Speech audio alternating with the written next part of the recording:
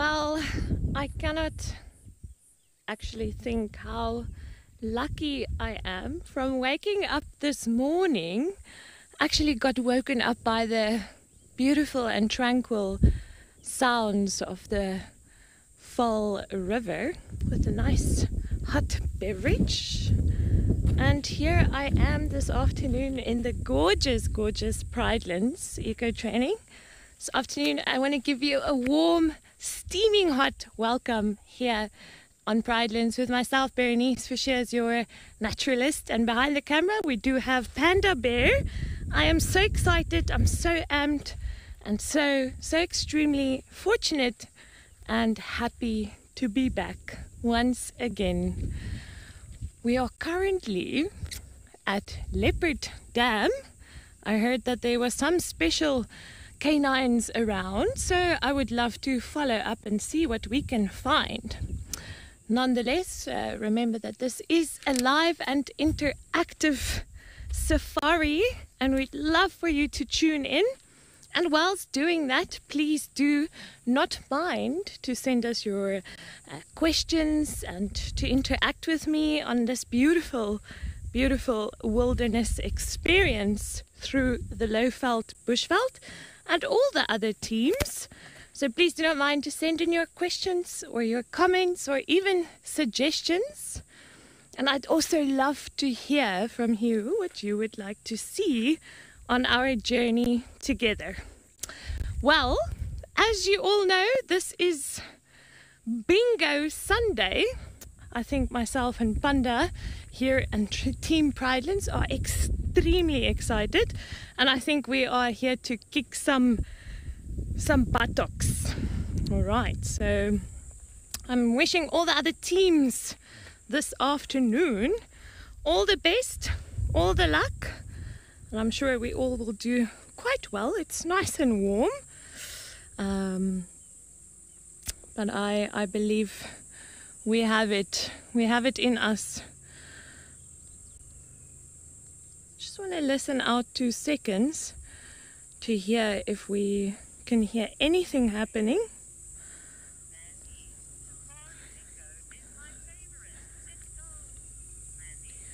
Mandy, good afternoon. Mandy is saying Safari Bingo is her absolute favorite. Thanks, Mandy, for tuning in. Um, we're going to cross our toes and our fingers to see what we can find this afternoon or whatever uh, reveals themselves towards us. So I do for sure have my bingo face on. Panda's got his bingo face on. I really do hope the other teams have their um, bingo faces on as well.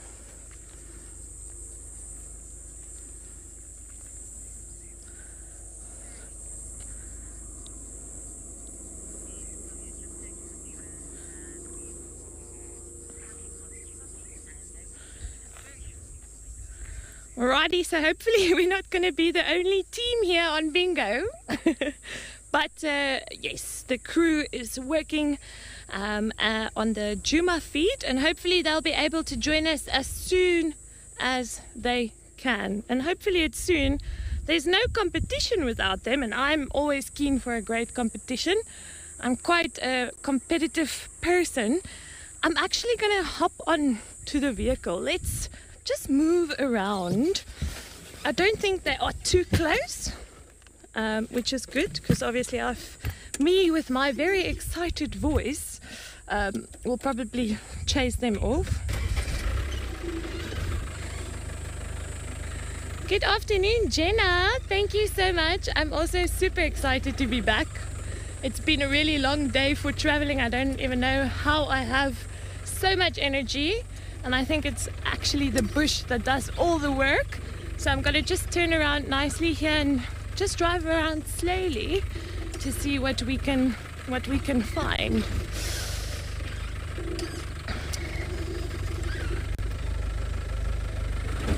Ha, I've seen and I've heard that Pridelands has been so busy this last couple of weeks, as a matter of fact and that is very exciting. So much life, so many things happening. This is awesome. I'm so, so happy and so excited to be back.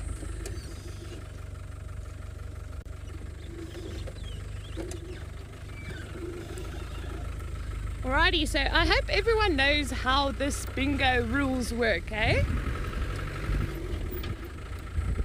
I still gotta pick my card to see what we're gonna look for and try to find.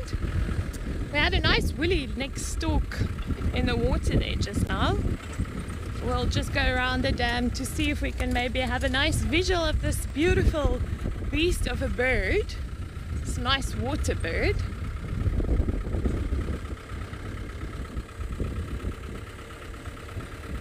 Ah, Momo. Momo is asking what's my bingo strategy for this afternoon. And um, yes, my strategy is to uh, take some time, spend some nice and quality bush time, try to see what we can pick up on, and obviously to win. So, and to kick some buttocks, that's my absolute strategy. As I've already said, I'm quite a competitive person. Um, but I'm also I, I, love working in a team, and um, but I think we're going to take this one this afternoon. That is that's my strategy. So yeah, and always it's always just good to spend nice quality time, not to rush, and to open your ears and your eyes for all sounds or any visual, um, any track and sign. Alrighty, so we're going to take a nice and slow drive around Leopard Dam. But uh, let's head over to the weatherman to see what he or she has to say.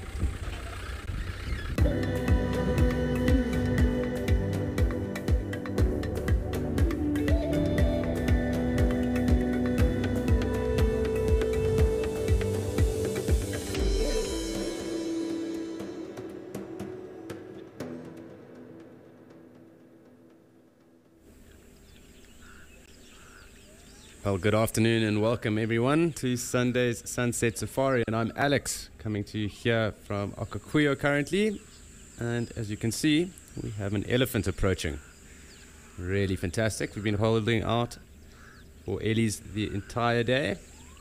And with all likelihood, this Ellie looks like he's steaming down on us. So we should be in for an awesome sighting just now. We did just get the audio of a mourning dove. And we have some springbok here currently as well. Quite overcast. It looks like there's more than one Ellie. So let's just have a pan across, and of course, when they do get down to us, just looks like the two individuals at the moment. So when they do get down to us, we'll of course get a bit closer and enjoy them. And up here in Etosha, they are known as the white ghosts. And that also just because of the substrate, this concrete rock and stone that is around us. When they do spray themselves with dust, once they're wet and that does dry, they do turn that very classic white. And Etosha is then known for these white Ellies because of that. And of course, they are then called the ghosts of Etosha.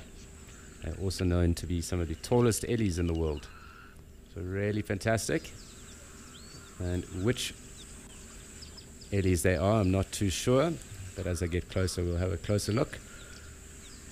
It'll also be interesting to see what they do with these springbuck that are around. Perhaps the springbucks will just move off and then I'm sure find a place to drink in peace.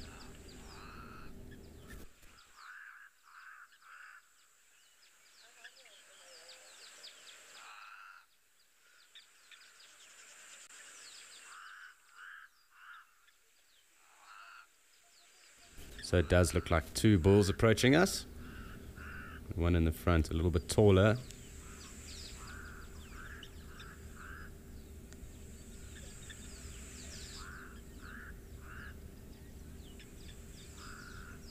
Hi, Jane. Yes, thank you very much for joining us. And again, yeah, awesome that we have our Ellie's coming to play with us. Lovely way to kickstart Sunset Safari with Ellie's up here in Etosha. So, who knows what that does entail for everyone else. But um, of course, Ellies are fantastic and always great to spend time with them.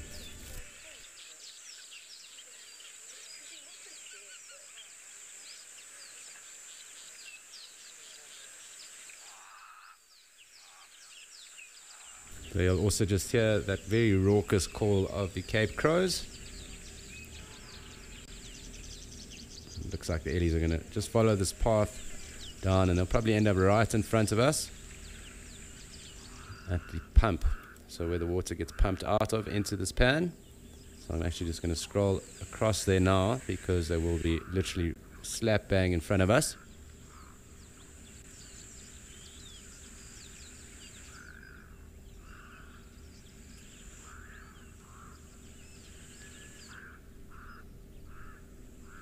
And you'll also just see a number of zebra off in the distance.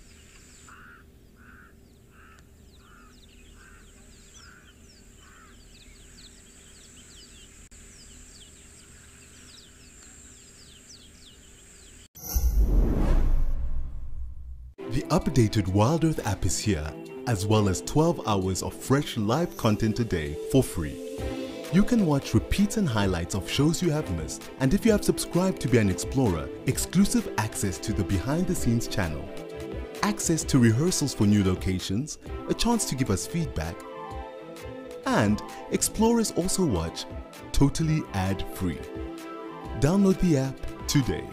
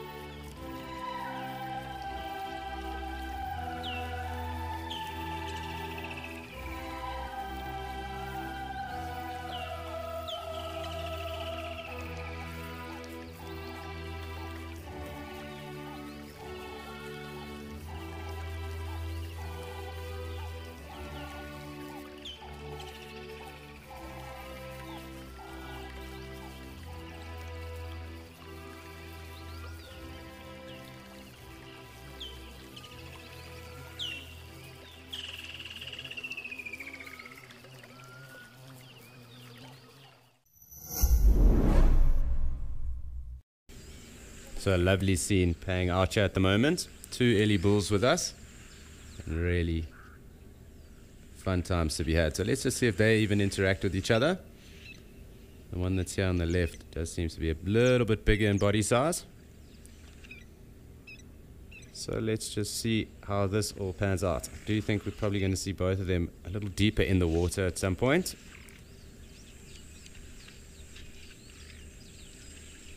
Does look like this one on the left is in the beginning stages of musth.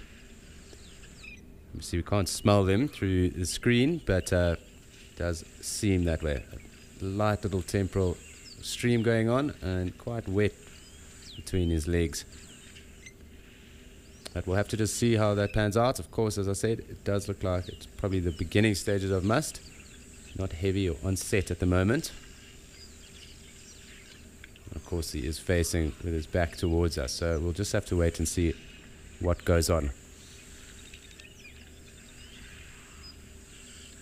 But really cool and lovely to kickstart off with some of our giants. And it's time for us to go and see what Bernice has found across in Pridelands.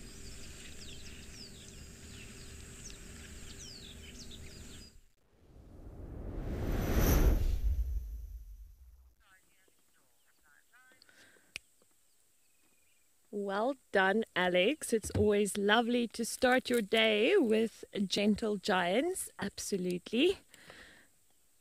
Oh, wow. I guess we found our uh, canines. They are resting up here on the western side, on the southwestern side of um, Leopard Dam, which this is so special. My goodness. It's always a treat to find and to be able to spend some time or just to be lucky to to see these guys out in the wild. Extremely extremely vulnerable animals as they are very small but nonetheless quickly just to tell you that this is our first animal to tick off our bingo card this afternoon. So I want to make sure that everyone has seen or is now enjoying these wild dogs these African wild dogs with us. They are also known as the Cape hunting dogs or the painted wolves, which actually Lycaon pictus means. Their, their Latin names are Lycaon pictus. Fantastic. This is lovely. They are just lying up in the shade, exactly what I would have done now. Just to lie in the shade, Whoop whoop. I shouldn't do that too loud, but everyone has confirmed, our lovely viewers, thank you so much. They have confirmed that they actually see these these animals, these canines, and they are also confirming that they are indeed African wild dogs. This is fantastic. I haven't seen these guys in quite some time, so my heart is literally uh, just beating out of my lovely bingo wild earth shirt. Just gotta take a deep breath just to enjoy the absolute beauty of these guys. It's really marvelous. I think it might be the alpha male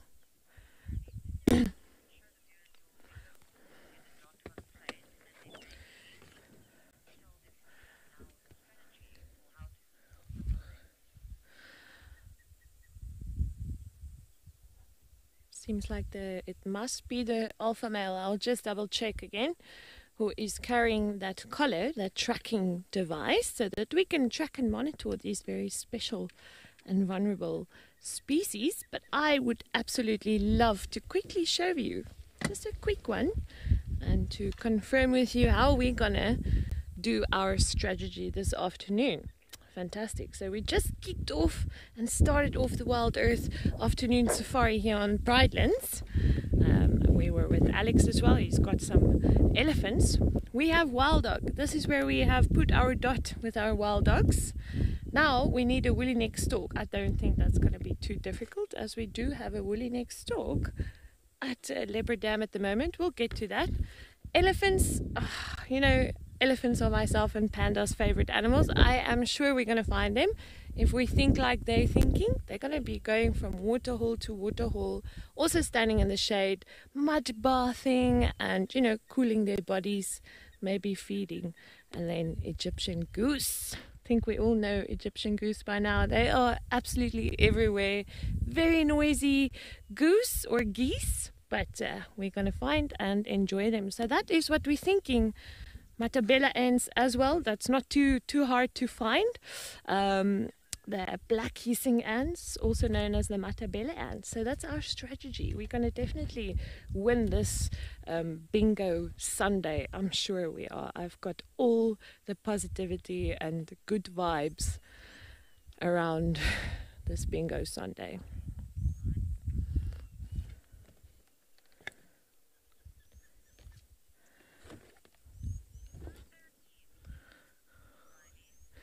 Riley, thank you so much. Well done, Team Pridelands. Yeah, this is fantastic. I really appreciate it, Riley. So kind of you. I love to hear kind things and to do kind things. Um, and this is fantastic. I am so happy to be able to to spend some time here and to share this special moment with all of you watching at this very moment on this absolute beautiful, beautiful Sunday afternoon.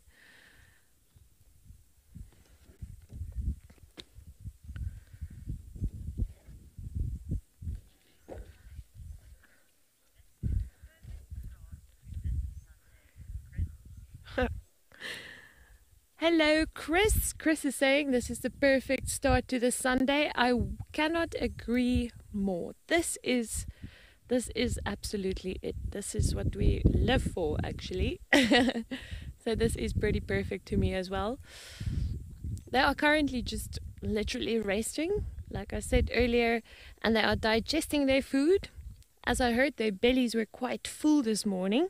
So and this is a really good spot for them to to sort of lie down and rest to digest all their meat they had this morning. Apparently, there's about four or five wild dogs here. I will see as they get up and move from shade to shade. But um, yeah, I think three adults and two youngsters, or four adults and one youngster. We'll just have a nice look see. I just love those ears. Those ears are constantly working. When they do make a, a, a, successful hunt and kill, they have to feed really, really quick because they are small predators. They're not really right up there in the top. So if they are confronted with lions or maybe leopard and um, some hyena, I think they, they could be quite vulnerable. So they quickly feast and then they move off as quick as possible and go lie down for the rest of the day.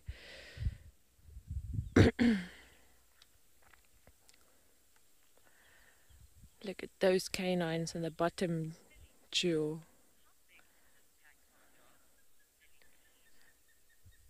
Good afternoon, Millipede. Millipede, I love your name first of all, is asking how big is this pack?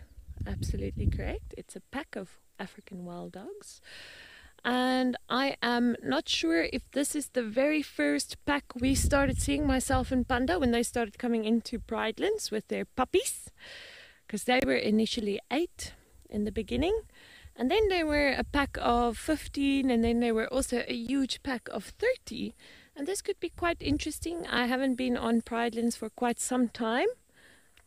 Um, but uh, I'm definitely going to spend a lot of time here. So you you're probably going to get so tired of me, hopefully not of the animals, and we're going to take on this journey together to see how many there are. But I think this is the pack of four. So only four of those eight remain. There were three adults, and then there were five puppies. So I think only one of the puppies they made it. They survived, or he or she survived, with the three adults.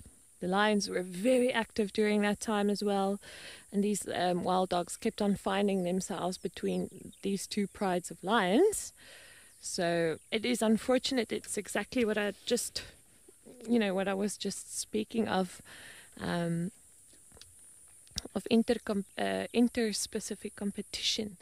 So it's competition of uh, animals of not the same species. So it's always got to do about food and territory and maybe water and females. Females, um, most of all. But um, obviously, this would be area related and food related competition between lions and uh, wild dogs, so inter-specific competition. An exact opposite of that would be intra-specific competition, and that would be competition um, about food. Say, for instance, of animals of the same species. So, say for instance, two lion prides fighting over a area or a female or a few females, and also food, definitely.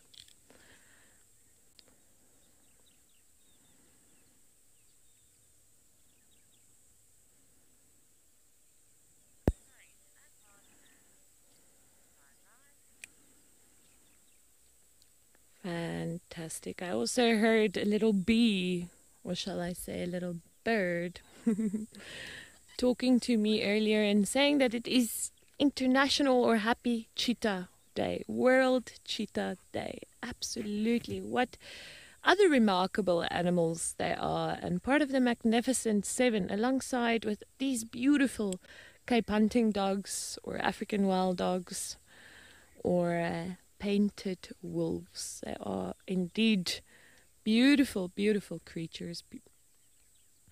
Marvelous hunters, canines. They are absolute incredible predators, these guys. The way they hunt and the way they just also use each other, cannot live without one another, to, to hunt, to hunt and to kill, and to feed, to look after one another. They are probably one of the most social animals out here.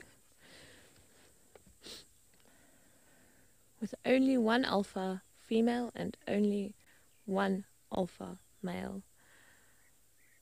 So for sure, these guys are always super special to spend time with. I think, if I am correct, there is about 29 or 28.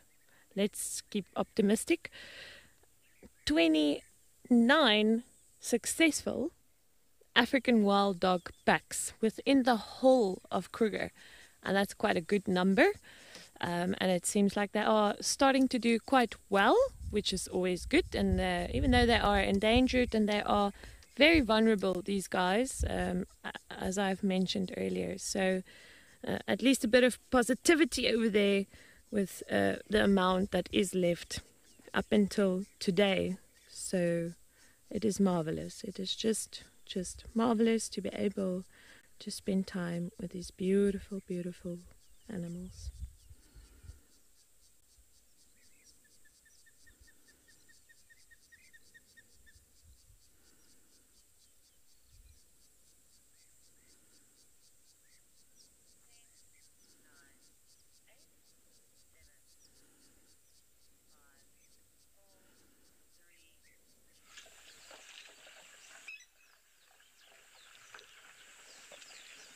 Oh yes, we're back here in Okaukuejo. And quite clearly our Ellie bulls have been spraying themselves. And interestingly enough, we have another of the hindgut fermenters, or another species that really has quite a rudimentary digestive system. And that is the zebra. I'm going to get a little bit closer, just because it'll be nice to get everyone in frame.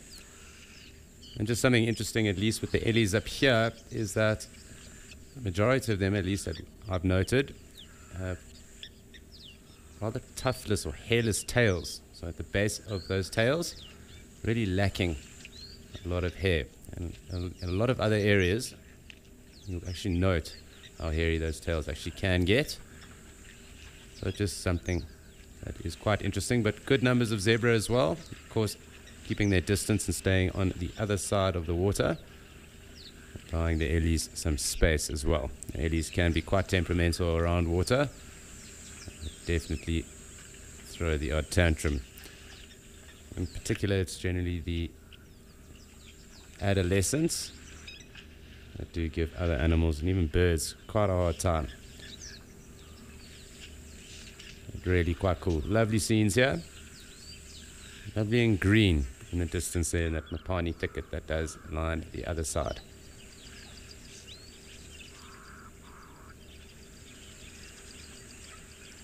so correct, Jonathan. They really do.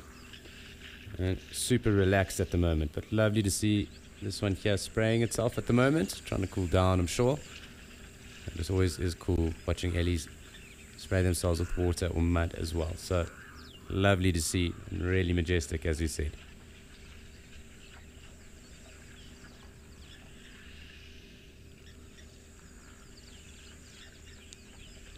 And Springbok also sneaking through. Had lovely scenes for an afternoon.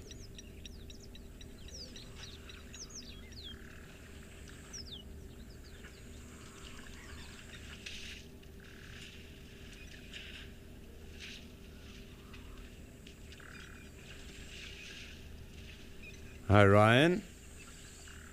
And yeah, I mean, listen, it would probably be quite unfair for me to team up with someone because I'm sure we would definitely win. But um, I not get overconfident there. We are fortunate at the moment that we do have quite a bit of action here in Okaukuejo. But we can be quite restricted at times because we obviously can't move. So we just have to wait and see how it goes. But uh, definitely a good start to our bingo here. If we did have a board, hopefully we'd be able to mark these two off.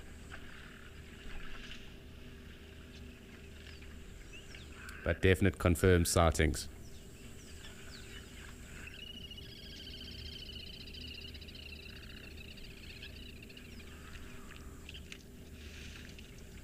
It looks like this other bull on the left of us is also going to have start spraying himself as well. And they really do look quite interesting when they do splash themselves out, just because of how that substrate has kind of caked themselves white. They kind of almost look like Jackson Pollock Ellies, but uh, you know that will dry rather quickly. It will get and will be rather hot anyway up here in Okaukuejo.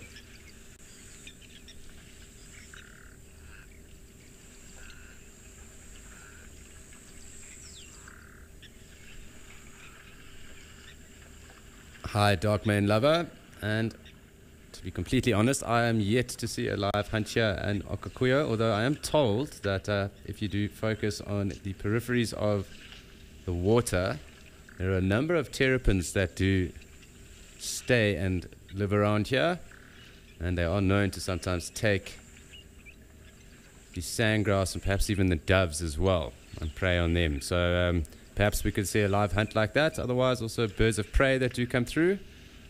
We have had a number of jackal around of late, but um, because it's quite open, they do get alarm called out quite readily. And we've also had the helmeted guinea fowls also alarm calling at lions. And when there are good numbers of helmeted guinea fowls, it does sound like a bag of cats going off because they really do give it a good go.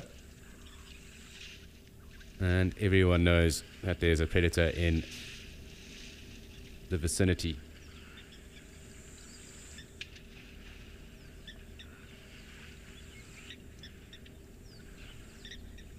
But it's not impossible that there could be a live hunt. So, uh, you know, keeping our eyes peeled and seeing what happens. I do think it would probably be more of a night or nocturnal activity, though, that might go on, perhaps even early morning. Maybe even an ambush through one of these little thickets that are littered around the waterhole. So, I suppose luck of the draw, really, Darkmane Lover.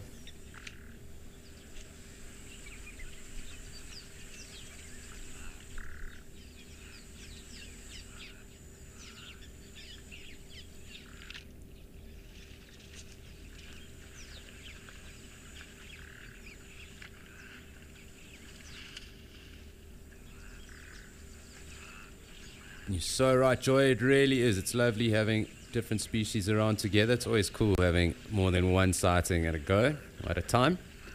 So nice to have them. It does look like the zebra are probably going to start pushing off. Our ellies, though, look like they are going to be spraying themselves for a little bit longer. And we still have those springbuck around. So just try and make sure we get everyone in frame here.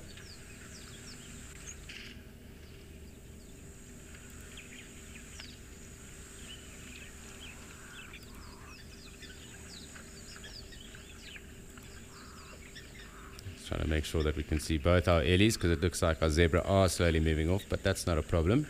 Ellies are treating us.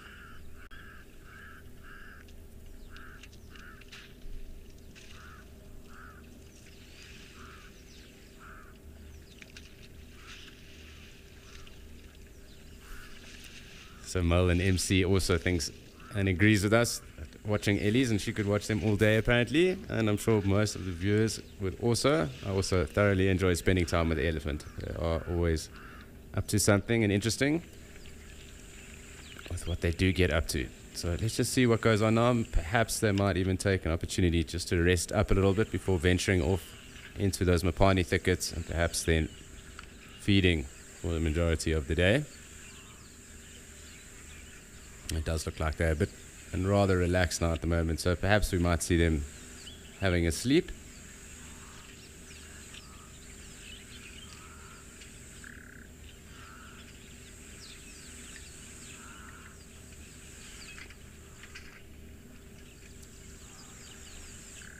This one definitely resting his trunk, as you can see.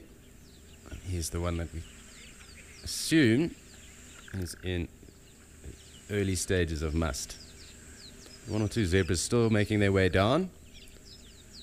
It looks like there might be some more coming through as well.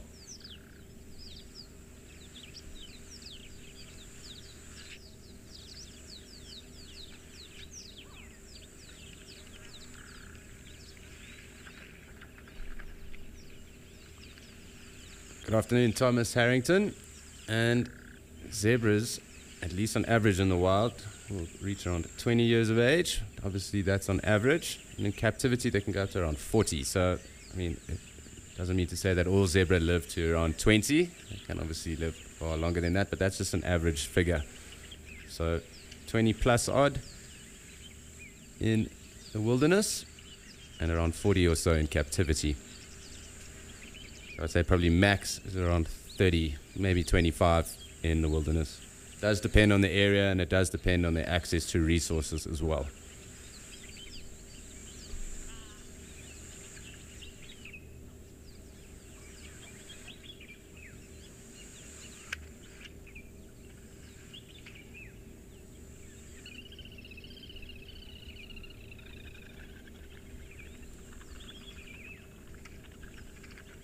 So quite cool. Looks like this one is perhaps getting ready to move off. And these two seem to be journeying together. And it looks like they are going to be journeying on away from us. But who knows, maybe a little dust bath now.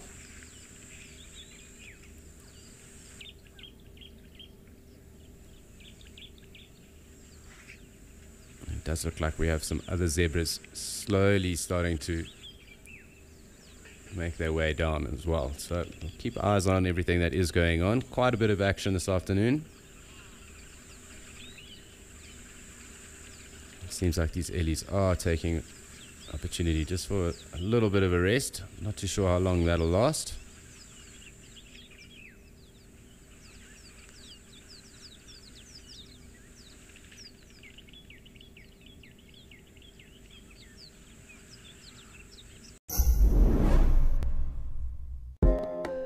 Here at Wild Earth, we know it's not always possible to watch your favorite show live. If catching up on safaris is critical to you, then download the Wild Earth app and watch the catch-ups here first. Catch-ups are available on our app before YouTube, and in addition, there are cut downs of each show for those who only have time to watch the best bits. That was incredibly cute. Download the brand new Wild Earth app today and don't miss out.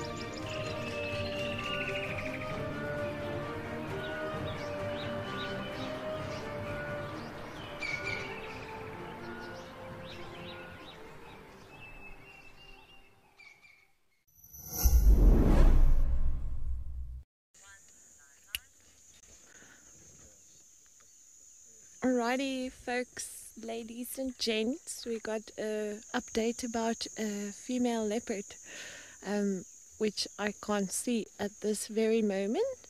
Um, it's quite exciting though to know that our afternoon has kicked off so well already, and we might have a visual of a leopardess.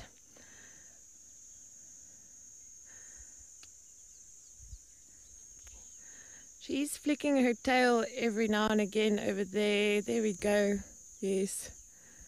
Um, I'm not sure, Panda, if you can pick it up. Um, but yes, let's hope we can uh, have a nice visual. Um, but the afternoon is still early. It's very hot, so we might be very, very lucky a bit later, even, or even now, if we just relax and spend some time. But well done on our trackers, I must say.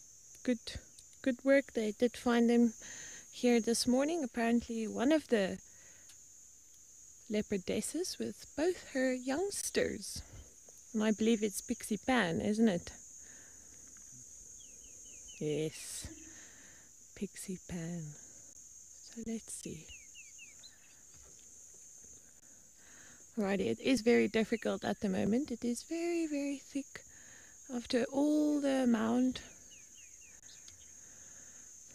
all the amount of rain we had already in this lovely rainy season. Now it's summertime, so yes, it's quite thick. Makes it more more difficult to spot and to find animals during this time of the year, but it's also a very beautiful time with all the rainfall, all the life. Oh, there we go. She's actually walking now. Okay. Ha.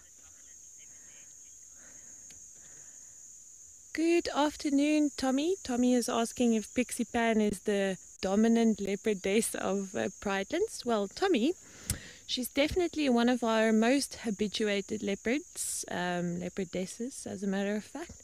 Her cubs are growing up with us as well and are, also becoming very habituated. It's uh, incredible to see how they are now compared to a few months ago. Um, but there is quite quite a lot of leopards in this area. And I would say she she rules. She rules this area. She's definitely a great mom. There she goes. Beautiful. Fantastic. This is marvelous. Uh, it's great to see some spots eh thank you so much for that update as well. We were on our way from Leopard Dam with the with the wild dogs to go see if we might be lucky. And uh, on our way we got an update from one of our other naturalists, and uh, they said they just spotted her. So this is good stuff. What an exciting afternoon. This is fantastic i am ever so happy we don't have a leopard on our bingo card our woolly neck stork flew off this is so funny but we do have a leopard and possibly three leopards. We have our wild dogs ticked off. Um, I'm not sure as I opened the show this afternoon if anyone saw that woolly neck stork. If you did see the woolly neck stork, please tell me because as we were leaving the wild dogs, the willy neck stork flew off, and that was goodbye for the willy neck stork. I'm sure if we go back, we might be lucky to to see the willy neck stork again. But I would love to have some confirmation if anyone has seen the willy neck stork or if anyone has um, yeah has seen this leopard as a matter of fact so well camouflaged during this time of the year all the trees and the shade of the leaves I'm gonna also just reverse a little bit and then go forward to go see if we might have another lovely view of her oh my word I can't tell you how excited I am I haven't seen spots in a long time. I started getting uh, getting depressed actually. I'm just kidding. There's other amazing and awesome animals as well. But um, to see Pixie Pan again is definitely a really good start to my cycle, to this December stint here on the beautiful Pridelands. So I'm just gonna keep my voice down because it is possible that she has a kill with her two cubs, her two youngsters.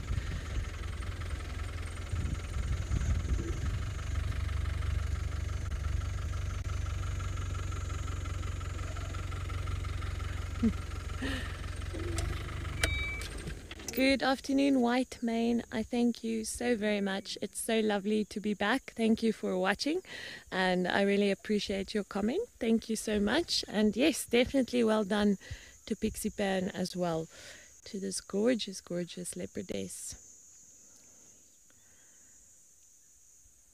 And just like that, just like that, they disappear. So it's it's marvelous. It's out of this world. My heart is beating so fast of how our afternoon has started, our bingo afternoon. Let me see if we do have a leopard. We don't even have a leopard on. Can you believe it? This is incredible. No leopard on this bingo animal card, but we do have wild dog. That's for sure. We have lion, we have kudu, we have vulture, elephant, dragonfly, warthogs. So we are gonna still knock it out of this park, Pridelands Park. I don't know, Panda, can you see this leopard now? Hmm? Oh, you can actually hear bones crashing. That is incredible. So it must have been something small this these animals caught. Uh, Pixie Pan probably caught a little impala lamb and they still have very soft uh, cartilage, soft bone, and it allows them to actually bite straight through the bones. And that's why also sometimes you can find within lion scat and in leopard scat you can find that white because of um, that white color in their scat because of the bones. So I'm also going to sit quiet and just to listen them feeding on their kill.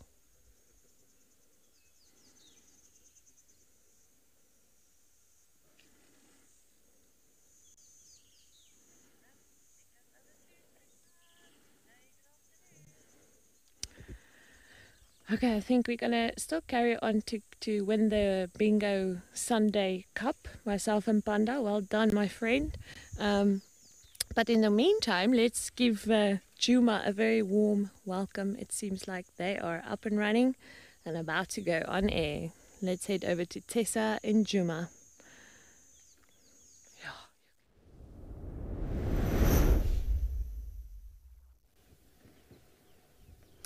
Thank you so much, Berenice. It sounds like you have been on fire this afternoon. Pixie Pan and some dogs.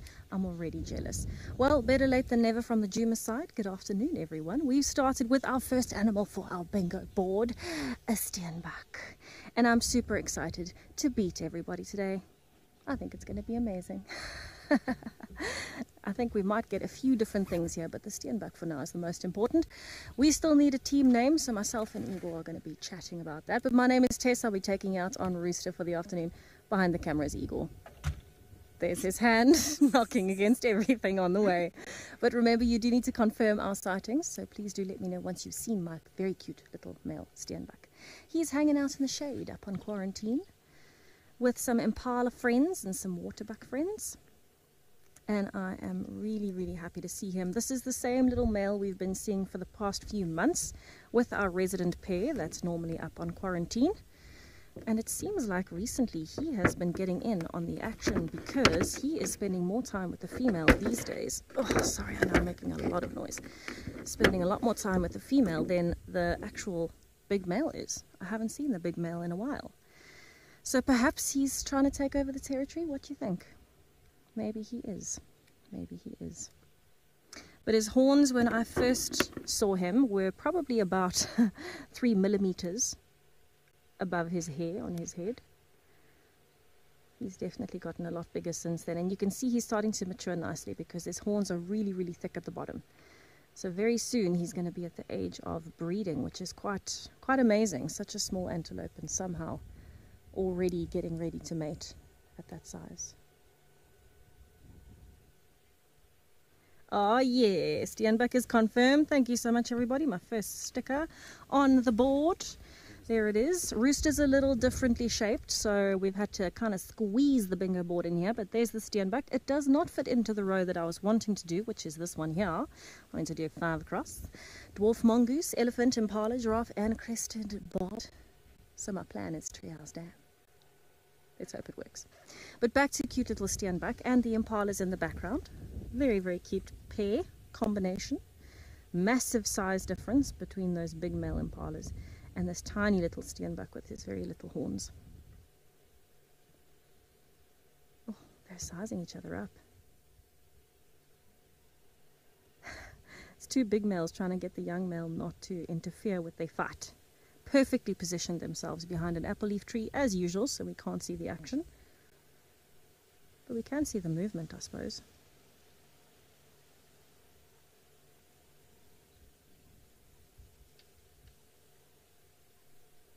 Oh, how kind of them. They're coming out. Yay.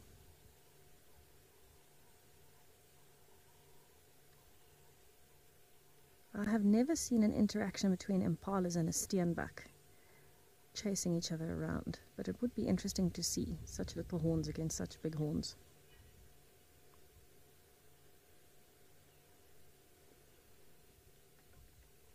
We started seeing some pretty serious fights between the impalas on quarantine. And the other day I was really lucky I had a fight between two waterbuck, which we don't get very often. But it's definitely, you can see it's that time where everyone's testing dominance. And I think that's what the young steenbok has been doing as well. Now I know I have to have two separate sightings for the impalas to count, but I won't be going anywhere. I will be staying to watch it but this will contribute to my next row. Okay, we're going to stick around with these impalas. I'm going to send you over to Ben, who is not feeling as humble as he was before the competition started. He tries to convince us he's not competitive, but as soon as those bingo pants are on, I'm telling you, he's a whole different human.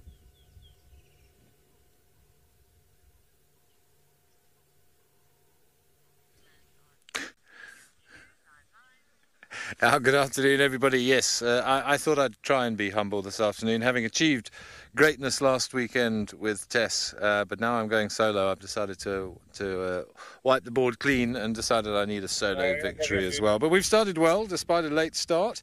We have some Egyptian geese, which is on my board, so I would love a corroboration of that, if you wouldn't mind. But I am competitive, Ben, this afternoon, and on camera I have the equally competitive Johan. Uh, we have every intention of, uh, after a late start, coming out of the blocks quickly and catching up as quick as we can. But let us show you the board for this afternoon. It's a bit of a mishmash of, uh, of things. There's no obvious um, line to go for. There's the Egyptian geese, which we have, hopefully, will be ticking off when we hear from you guys. Um, other than that, I've got some tricky ones, but I did get a tree agama this morning. So, giraffe, crocodile, hyena, tree agama, elephant took my eye because I like a bit of a challenge to find another agama. I may just go back to the same tree. I'm not sure if that's allowed. I'm sure he's still there. But there's a few tricky ones. Buffalo we haven't seen for a little while. Rhinos are a bit hit and miss. Genet, Snake also caught my eye, but I've seen two snakes in the last two days, so that's doable. Um, so I don't really have a plan for this afternoon. The Egyptian goose I don't think really helps because a bush baby is going to possibly be a step too far. But this one's doable. We might have to wait till late for a scrub hare. So if we have a close game, perhaps later this evening, that will be a good one. But we will see. I don't have a set plan. I've decided I'm going to go to Chitwa because I've got birding envy after Tristan went to Chitwa Dam yesterday. And even though we're not officially birding, I'm always birding. So we're also carrying on the other thing, of course, is we would like to be able to find um, Talumba and again Mawati was in this area this morning. Uh, he is a little bit of a, a wild card, as we all know, but Talumba's still here. She'll probably be remain unseen and pop onto dam cam at about half past eight like she normally does. Um, but that would be nice. I've had some good luck with Talumba over the last few weekends. I'm hoping she graces us with her fabulous presence. But those Egyptian geese for Galago Pan.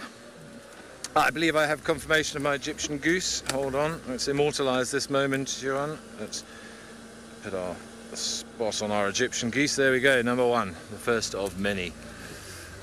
Uh, but yeah, my plan is I'm going to go and have a good, careful look around Gowrie Dam. Speaking to Tristan, who had Talumba's tracks this morning, he thinks she might well be in the Mawati somewhere. So I'm going to have a very careful look in this area.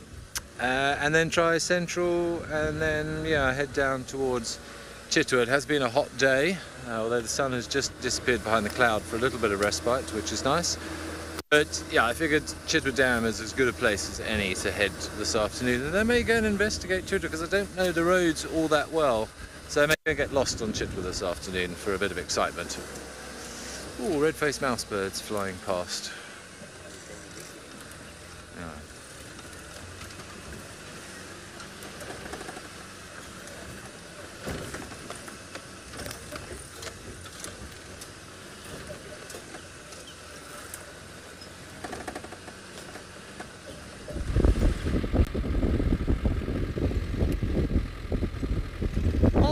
So we have left our leopard. Whoops, leopard days. Oopsie. We have left our leopard days with her two cubs, and they are busy feeding. And they were probably about 15 meters away from us in that thick stuff underneath that marula. So it is really hot at the moment, and I'm sure if we go back, we are going to uh, see them again. Definitely. It's very close to uh, Leopard Dam, very close to our wild dogs we found this afternoon. So we are going to make our way now to the one and only Ndlovu Dam and hope to see if our woolly, uh, woolly neck stork. a lot of tongue twisters this afternoon. Um, woolly neck stork is there so that we can make sure everyone has seen our woolly neck stork and we can actually tick it off our uh, bingo list of animals.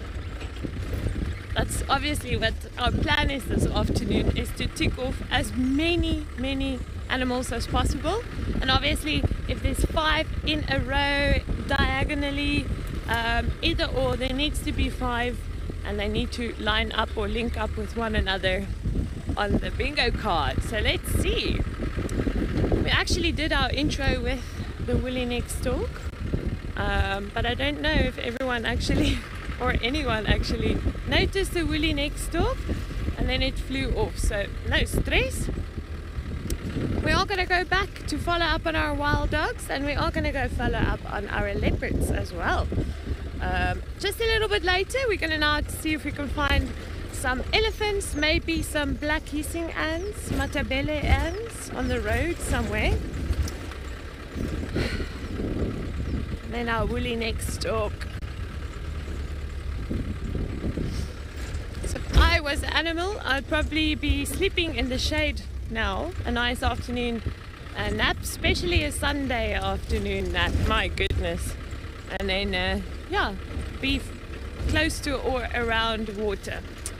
And I think that's what most animals would do during this time.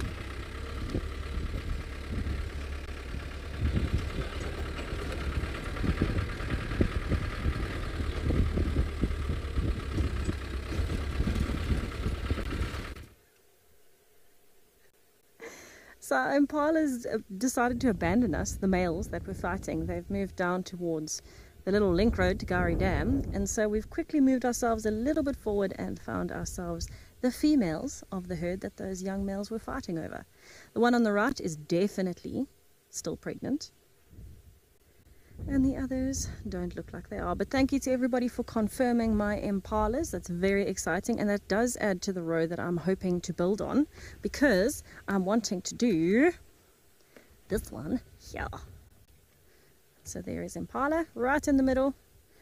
And I'm wanting to do elephant and dwarf mongoose on the way to Treehouse Dam, and hopefully giraffe I find somewhere, and crested barbet might be anywhere on quarantine, or maybe Philemon's Dip, or maybe Treehouse Dam. If not, I'll go towards the Mulawati. But yes, my top row is going to be dwarf mongoose, elephant, impala, giraffe, crested barbet. I've got to beat everyone, but particularly Ben. That's the plan. Got to beat Ben. Ben can't win. I helped him win last weekend, but that was just out of the goodness on my own heart, you know? At least I can say I'm always competitive. It doesn't just come out for bingo. okay, our Impala ladies are definitely enjoying a little patch of shade. They're not making it particularly easy to give a stunning view because of the, them being on the horizon. But I can appreciate why they're in the shade because we've been in the sun for about a minute and we're already feeling rather hot. But I am interested to see when that female is going to drop because I don't know, this year there's been a really serious delay in some of the lambs.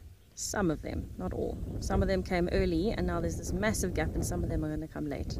And I think it's because of the rainfall that we've had. The rut lasted a lot longer than usual. So the female's estrus was a bit extended and all sorts of strange things happened. And so now there's this really big gap. And that's fine, it's not a huge problem. Um, but the reason they try and synchronize it to be within a week or two of each other is more so that they've got a better chance of more little lambs surviving when the predators are around. If you've got every female giving birth, you're going to have almost double the herd size in the space of two weeks. If you've got a gap, you might have maybe the herd extending by a quarter or a third, and then a gap. And then um, and then what happens is the predators have easier pickings with fewer lambs, and then more lambs come and they've got easier pickings of those. The odds are a lot less for those impala lambs. Drew, thank you so much. I'm so happy that we could start with a little steenbok and extended it to the impalas. And now we must do our best to find some of the others. Speaking of, actually, Igor, did you see impala lambs this morning? Yeah. Yeah. There aren't as many as I expected. I haven't seen any yet this afternoon, but we'll see if we can find some. Because it is going to be interesting to see how many more or less survive this year because of that split in the in the lambing season. Bit strange, really. Bit strange. Hmm. They are looking good though, at least. There's so much food and water that they can quite easily find more than enough to keep them going.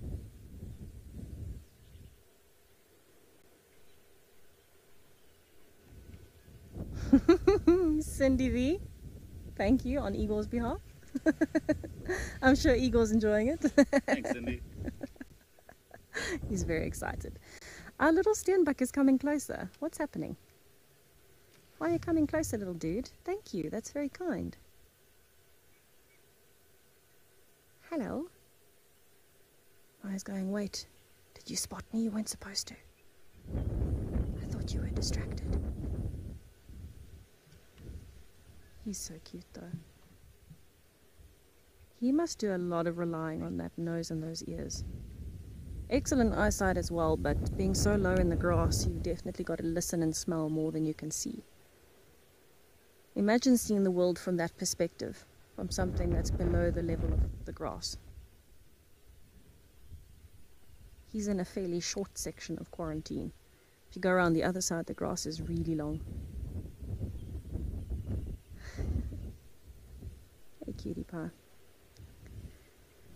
So the other day, he was actually on the other side of quarantine with his mom, and that's when we had a little fun with them.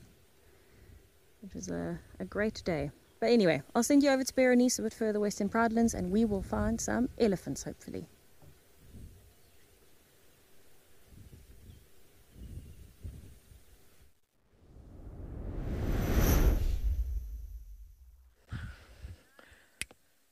Fantastic. Look what we have here, folks, ladies and gents. Look at this babies. Oh my word, this is so special.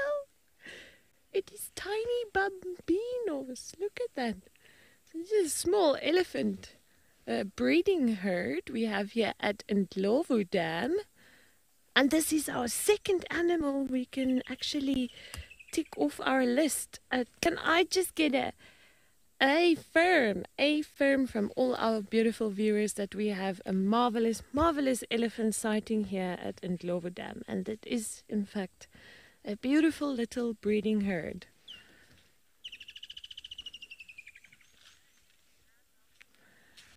And there is even a lovely hammerkop there, just behind them. Oh my word, look at that baby. that is so gorgeous. Oh my goodness, that is such a tiny baby. Whoop we have confirmation, a big affirmation and affirm from our viewers. Yes, give me a high five, Panda. This is fantastic. I am so excited. It couldn't have started any better. We have wild dogs, we have leopards, and we also have a breeding herd of elephants in a matter of an hour. That is that is insane. Obviously, for Safari Bingo here on Wild Earth Safari Live, it's it's definitely uh, a for away. I I love this, and we're not doing a Ferrari Safari whatsoever. We actually do have a ibis as well. Has anyone seen the ibis? Has anyone seen that Hadeda? Hadeda ibis. There's a blacksmith lapwing flying in along with a hammerkop as well. But we only have a ibis. We have out of the the water birds we have Egyptian goose, ibis. Ibises aren't really water birds, but um, And then the uh, woolly neck stork. That's all water birds we have on our uh, bingo card. Nonetheless, might have some Egyptian geese flying in. We have these two young Ellie bulls still just drinking, quenching their thirst. And uh, there is a whole lot more uh, behind those uh, lead woods over there. Maybe this one will come join this these two youngsters. And the breeding herd has left us now actually. They've gone behind the dam wall, so that was perfect, perfect timing once again. We are so fortunate and so lucky this afternoon. I cannot even tell you. Yes, look at that, look at that. he looks like a cheeky young beast. He also just wants to have a bit of fresh water. And it's so great to see Ndlovu Dam with quite a bit of water as well. That is good for the animals, for the birds, for the plants, for the environment, the whole of the ecosystem. It's just fantastic.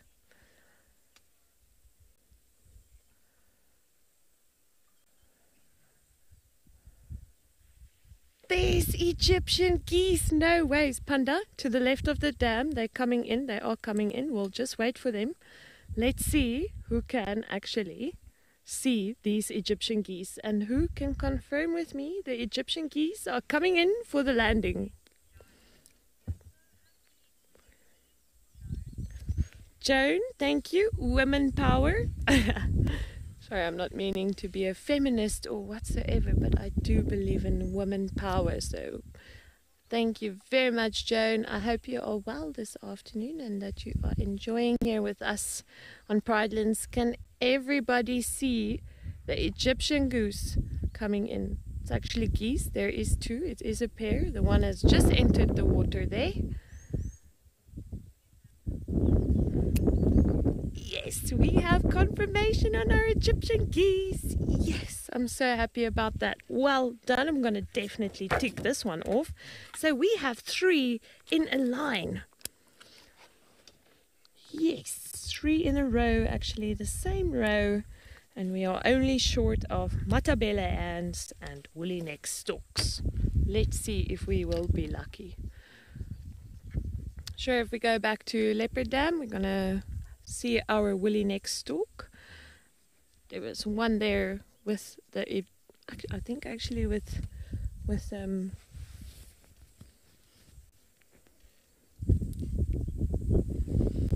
with the blacksmith lapwings, just by the way.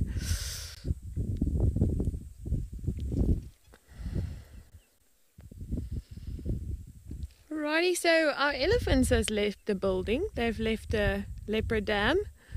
Um, but we still have our gorgeous birds that we can enjoy here. Do have some Cape starlings flying in. They always used to be called the Cape glossy starling. And it's actually quite special to see that white breasted cormorant all the way there in the middle. That is really, really lovely to see. You don't often get to see them here on Pridelands. Only recently, I know Chris started uh, seeing this guy specifically a white breasted cormorant. There we go. Here's our Egyptian geese. They're just coming closer to show off a little bit.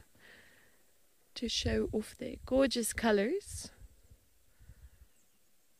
And they are actually not noisy. There's nothing bugging them at the moment. They are ever so happy to be in the water, paddling through the water of Ndlovu Dam.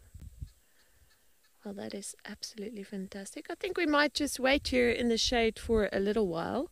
I'm actually going to park in the shade and see what else is going to rock up here. Just for a short little while, we will go follow up on our wild dogs and our leopards. Gosh, this is such an exciting morning. Uh, I mean, afternoon. My first day being back at Pridelands after being off for a whole two weeks. And just coming back from the fall, of the river this morning, it, it, oh, this is such a treat.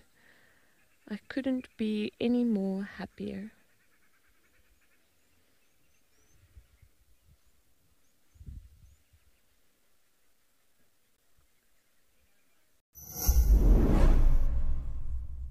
Wild Earth Explorers, this one's for you.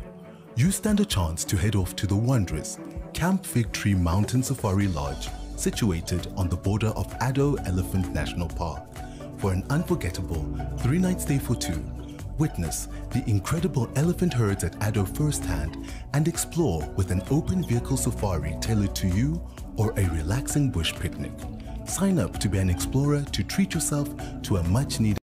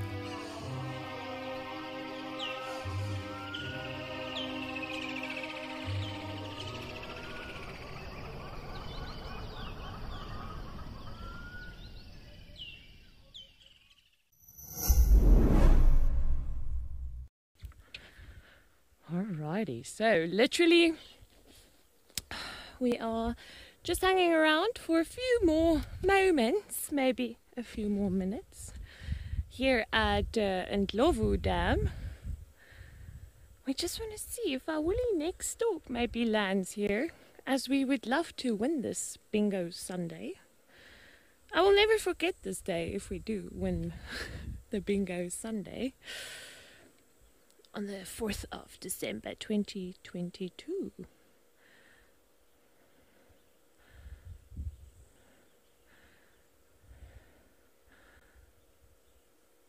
Ooh. Lebo, I'd love to hear your question once again. There goes our beautiful little Egyptian geese.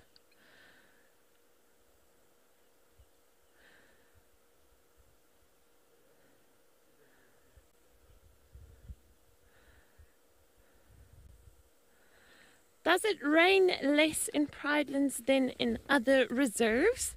I think it, it depends. It definitely depends. Um, ever since COVID, the the weather patterns across the world has changed quite a bit. But last year, or I mean this year, even in winter, throughout the winter, we had some some epic rainfall. It's it's quite incredible. So I think our rainfall is pretty much the same. Sometimes we have incredible, incredible floods of hundreds and hundreds of mils of uh, rainfall.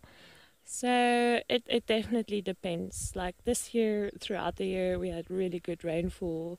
And even now, in our summertime, in our actual rainy season, oops, Egyptian geese decided they had enough they had a nice cool cool down session so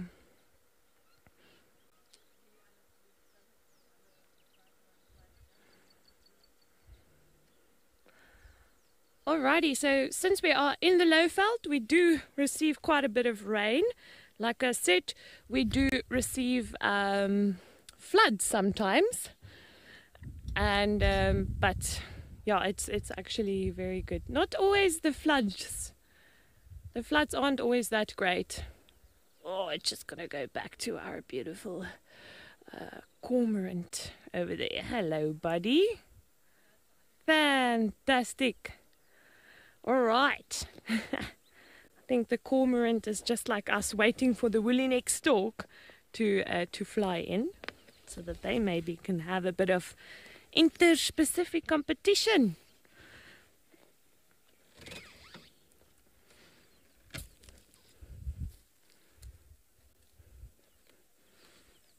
Ah, it would be great to, to also just relax in the shade the whole day. I still have visual of our beautiful elephants, mainly the three Ellie bulls that was behind the breeding herd. And even during this time of the year, the the Ellies are all over the place. There is abundance of water. There is abundant of vegetation for them, and then there is cows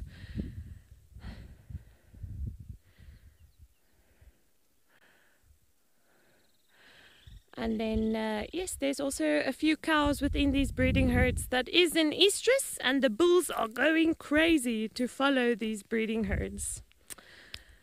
Well, let's see what else we can find and tick off our list. Uh, but for now, let's head over to Tessa to see if she can at least manage to put one thing on her list.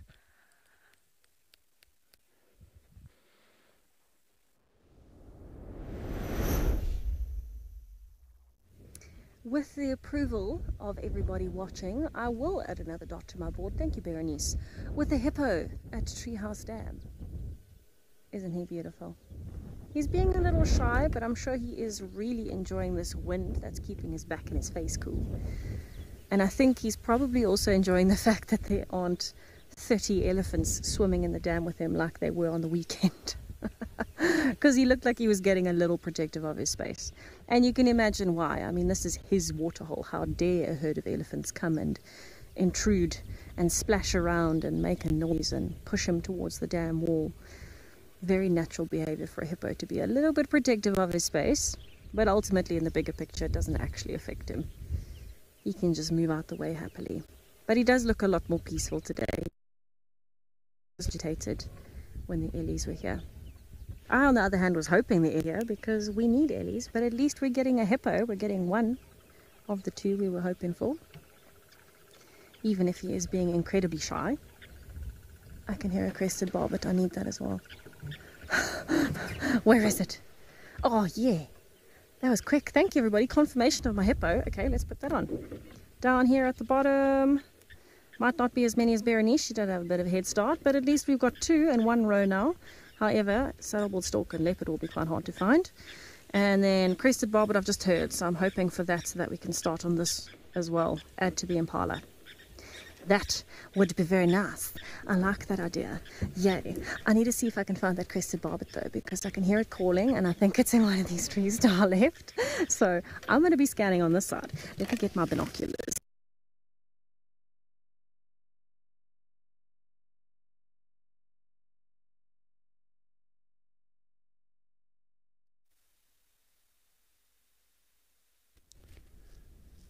Well, sadly, we did just lose Tess there, but we will be back. We're also here in Djuma currently. And really no complaints about that, but we're just going to have to have a little pan around and see what might be going on. So I'm just going to take us across. And it seems my controls have also frozen now.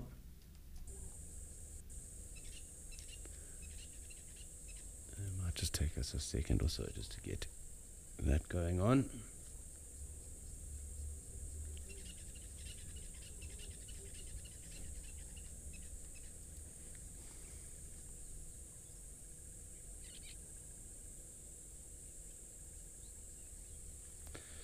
And let us have a look and see what is happening here in Gowrie Dam. I can also hear Tessa's crested barbet.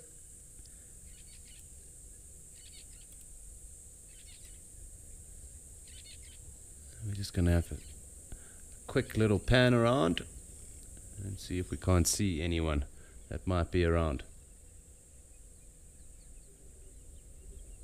A couple of pied crows as well, off in the distance. Burchell's starlings.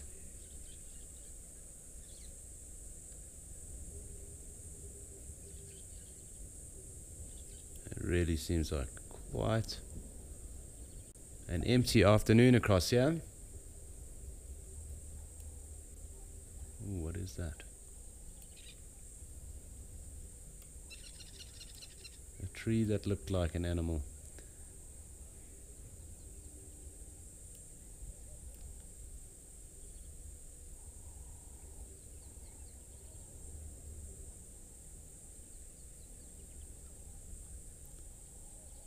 So it's just going to be one of those little pans. Nothing we can really do if the animals don't want to show themselves.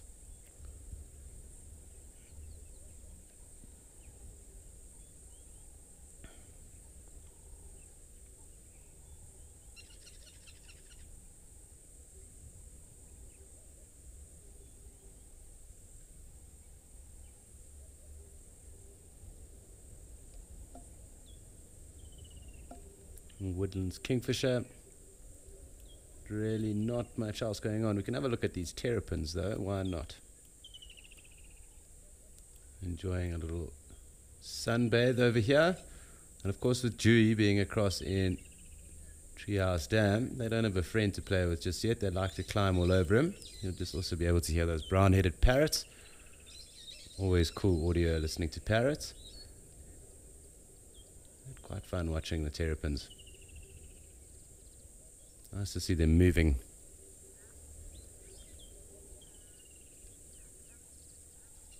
So we're sticking in Djuma, then we're just jumping across to Tess. He needs to see if she has got another animal for her board.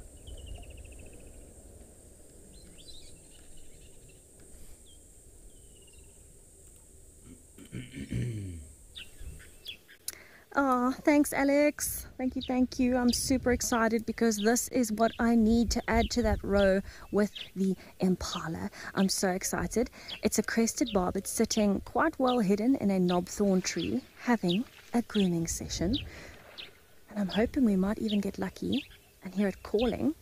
That would be a bonus. But for now, it is distracted by using the shade to give itself a bit of a preening session. I can hear the hippo behind me making a noise. He's popping under the water. But this is that really distinctive yellow, black, and red bird with a couple white spots and a kind of rocking mohawk when it's up, the crest. Unfortunately, it is down at the moment.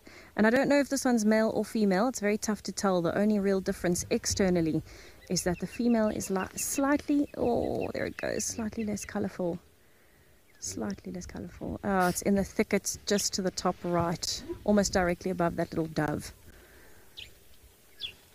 I don't know if we'll get that again, but I'm hoping you got a glimpse of the crested barbet.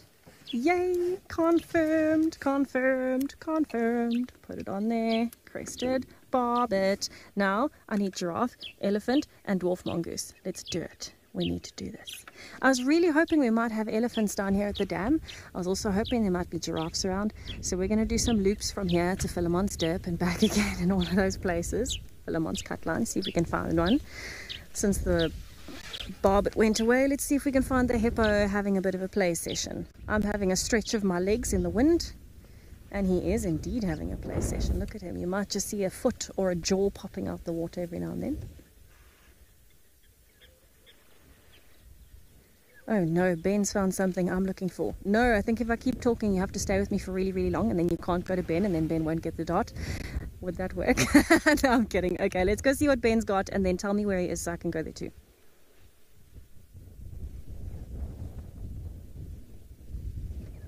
It's supposed to be only one animal per uh, right, well, we've found an elephant. Now, the thing is, I've got three elephants on my board for some reason, so I have to choose which dot that I want to go with after you guys have confirmed the sighting, which I think it's fairly self explanatory what we're looking at here. Uh, so I'll have to choose which of my elephants to put a dot on, as it were. Uh, but one female here, and there's a youngster somewhere up on the bank. So we're in the Muluwatu, actually in this area, because we're kind of just having a look for where the dogs were last seen this morning. Um, yeah, we just bumped into. We can just see. So there's one female, and then there's a calf that's hiding behind the tree at the moment. I'm sure there's probably a couple more in the area, but possibly over this ridge. But always nice to see elephants. Didn't see any elephants this morning, and didn't see any elephants yesterday. There's the little one. Thank you for my elephant confirmation. I will add my sticker, which gives me two in a row, along with my Egyptian goose from earlier. So we are catching up. But it sounds like everybody else is ticking off things left, right, and centre.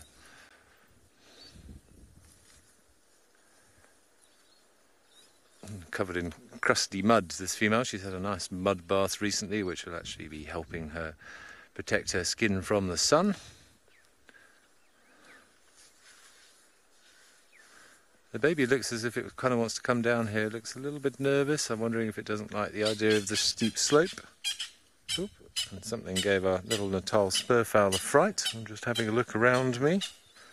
I don't see what upset it. Hello, little one. Having a munch on this young jackalberry. Talked about those red leaves this morning, those young red leaves.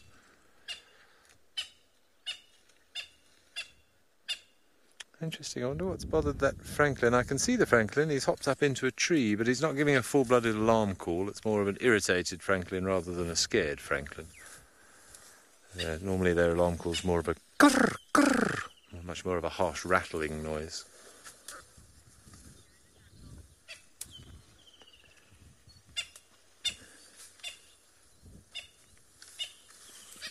Well, with dogs in the area, it's always worth keeping an eye out. So the chances are we might get an indication of where they are uh, from listening to the birds like normal. Even the elephant as well. If the elephant will see the dogs, it will potentially react.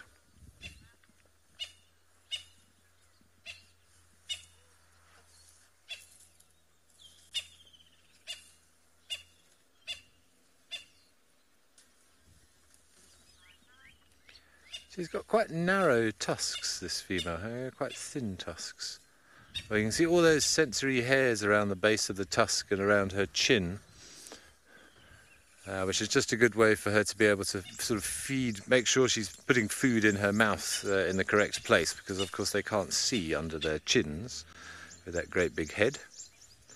Okay, we're going to have to just turn the car because they've gone behind us. Two seconds. Hello, dear. Welcome back home to the land of the driving. How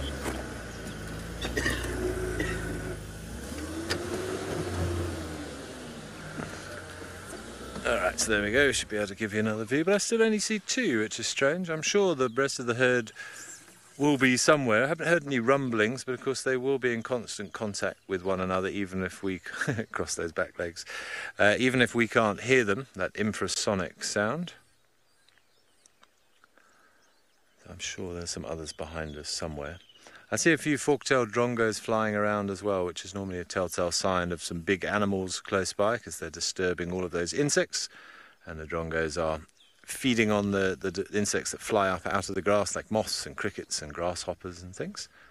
Same principle as when we have uh, cattle egrets following buffalo and herds of cattle out in the more rural areas for the same reason. They're disturbing things in the grass and creating a little, I would say, like a mobile smorgasbord for the birds. Those drongos are very, very clever. They've learnt this. I've even had them sort of hovering next to the tyres whilst we're off-roading. I had one take a, a bug off somebody's shirt once when I had guests in the back. They've learnt that we provide them with food.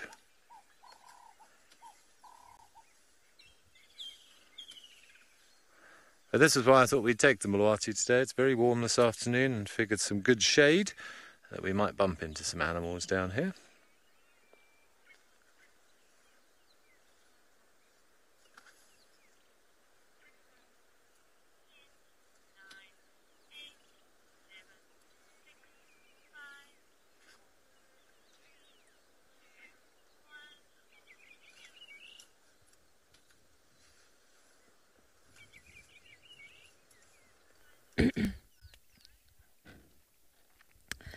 Well, would you look at this beautiful scene with our gorgeous harem of impala?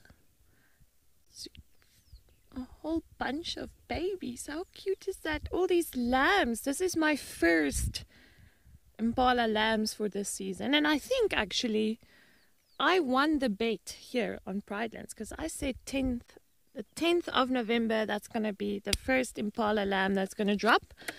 I think I won that bet actually. I'm still waiting for my prize, but nonetheless, we also have this these gorgeous animals on our bingo board. And I just want some confirmation. Anybody out there that can confirm we have impalas? We have a whole herd of impala. We even have a krish. Yes! Woohoo!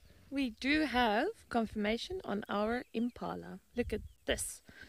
This is so gorgeous. I mean, look at this lamb. It's probably a few weeks old or even a few days even and it's already browsing incredible um, but yes i just i just want to also show you how proud we are we have our yes there we go panda my champion we have egyptian goose we have impala we have elephant and we have wild dog we have four on our bingo animal uh, board. So very, very happy, very happy about that.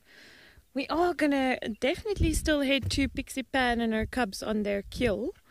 Most probably impala lamb they caught and that they're busy feeding on. So it's not going to be too long for them to to uh, be at that kill. Oh, this is gorgeous. I just love seeing impala lambs this time of the year. I think the latest one I've seen being born was when I still work in the Sabi Sand, and it was in April, 14th of April. There was still an impala lamb being born. Incredible. It always shows you different, eh? We, we sometimes tend to forget that we will never know it all, especially out here in the natural world, and in the bushveld and Not everything is a. Yeah, that one was born today. My goodness. Still struggling to walk a bit. Very cute. We also have Swainson spurfowl all around these impala.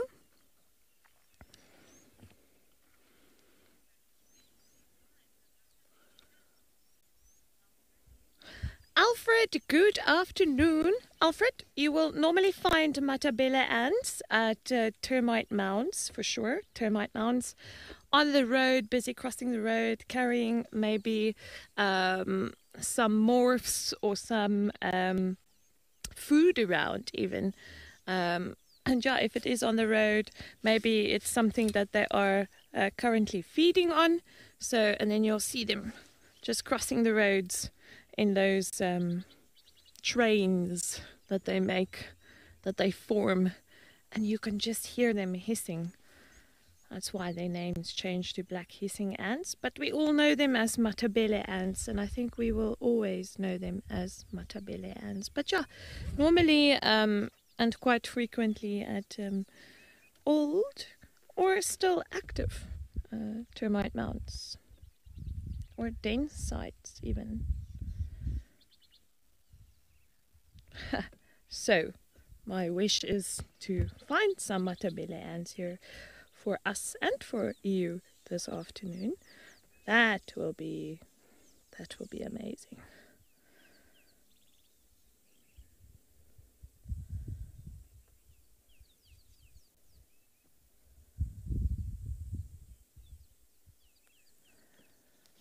All right, this is a really beautiful, lovely sight see all the babies so active and so healthy and um, also brand new to this to this whole new world. It's it's incredible incredible for them to be thinking they are going into this this world which they have never seen before. And they are so tiny. Look at them crossing the road there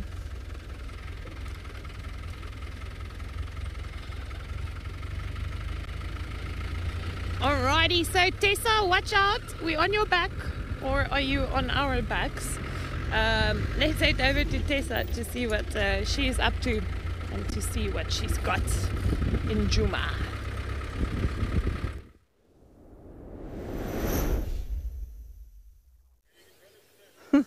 Bernice, I'm catching up so fast. If I get one more on either row, I've got three. So I'm catching up. This is in fact not on my board, but how can you not appreciate a beautiful big white rhino when you have one and it's covered in mud? So it's at a mud wallow somewhere. It's not giving us the greatest visual, but that's okay. You can't not appreciate it because it's just incredible. And I think there are two here, but the other one is further back. So we haven't really gotten a clear picture of that one. But at least you're seeing a really cute little rhino butt being followed around by fork-tailed drongos that are looking for insects while they're moving. Bye, rhino bum. Bye. Not on my list, but so worth it. So worth it. We were actually looking for dwarf mongooses and we bumped into the rhinos. And uh, there is a little termite mound in the back there where the rhino initially was, Eagle, and I was hoping that might have some mongooses in it, but Hmm, doesn't look very active at the moment. You can see though that it has definitely been used by dwarf mongooses at some point. There's some nice entrances in there. I don't see any fresh latrine sites at the bottom though, so maybe this one wasn't used as recently. But I do want to keep looking for dwarf mongooses. The rhinos moved into the thickets, so we are not going to follow that one. The other one is coming out there at the back, just to the right of the termite mound. There's a bit of a glimpse of rhino. I'm just going to give it a little bit of time to see if that one comes out more. Because it is moving towards the open area. Absolutely beautiful. Giant bush lawnmowers. Of course, this is one of the few species that um, I don't think I've ever met someone that hasn't appreciated a rhino when they've seen it in person like this um, or actually managed to spend some time with one just because they're these enormous animals but they are so calm they're so quiet they're so gentle and of course highly highly highly endangered. The plight of the rhino i'm sure is well known to everyone. But in case it's not we are fighting hard to protect these rhinos from poaching. And that's why they are dehorned to protect them And of course, it's something we'll keep fighting against. Omar, waterholes are pretty much central in the bingo strategy for most people, but it really depends on what you've got on your board. I mean, some of our boards, so the way we do it is we, we generally tend to just draw a board randomly from the pile, and most of them are pretty waterhole dependent, things like hippos, crocodiles, a lot of the bird species, which are of course drawn to water hippos, rhinos, elephants, those are all drawn to water. And then you'll have things like nyalas and things like that, which you're looking for thickets. So maybe the Mulawati or uh, even quarantine. Waterbuck, impalas, kudus, all these things have to find water. So waterholes are pretty central in the strategy. However, if it is a miserable cold day, waterholes aren't going to make much of a difference unless you have something very specific like a grey heron, a hippo, a crocodile, uh, maybe a saddle-billed stork, Hamerkop, something like that. And so it really just depends what's on your board. For us today, uh, nothing on our board was was waterhole dependent other than a hippo and a saddle-billed stork and a crocodile. But um, the other things we could find pretty much anywhere, we just knew that there was a higher possibility they would be coming to a waterhole because it's a hot day. So that's that's usually the strategy is try and stick to the shady areas, the drainage lines and the water holes to find the most species possible at any given time because that's where everything is attracted. So yeah, it's all about knowing the animal's behaviors, knowing the weather and how it's going to impact them, and going off of memory as well of where you might find specific animals. Sometimes they're there day after day, like specific hippos, um, or the cats, for example. If there's been a logged sighting of wild dogs or something, then you'll remember that and add that to your route as well. And that's always quite fun. But yeah, it really just depends. But I think what we're going to do, since our rhinos have disappeared and there are no dwarf mongooses there, we're going to carry on very, very slowly. There are a couple more termite mounds that I want to check along this area, and hopefully we'll be catching up and overtaking Berenice very soon.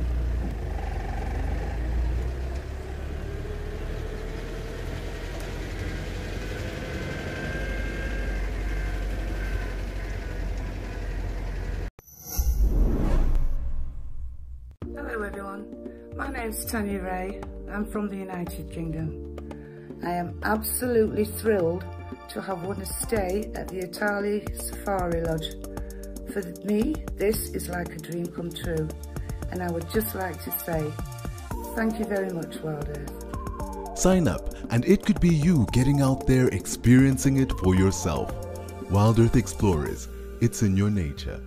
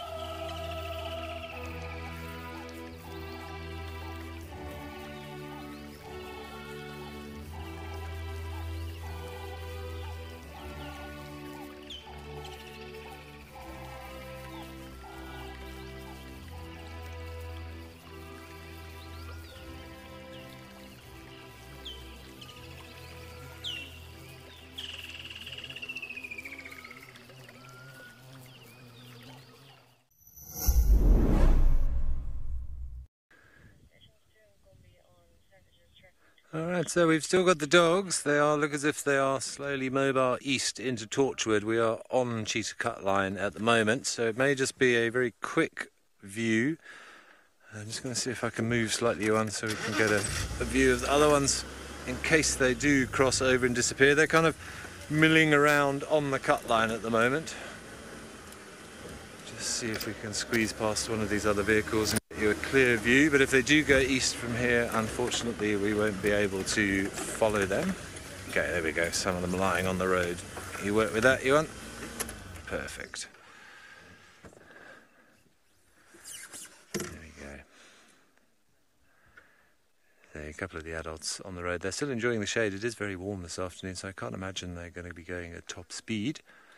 Uh, probably just still deciding what the plan of action is. They have spent the day on Djuma. They must have been sleeping somewhere uh, in and around the Mulwati, which is where they were left this morning. There's massive ears, Mickey Mouse ears.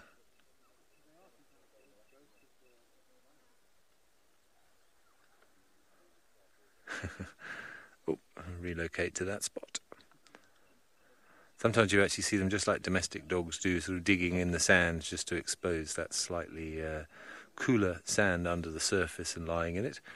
And we've got the two pups are lying in the shade of the marula tree just to the right of these two. There's another one further up, now gone flat on the road, so it might mean they stick around here for a little while.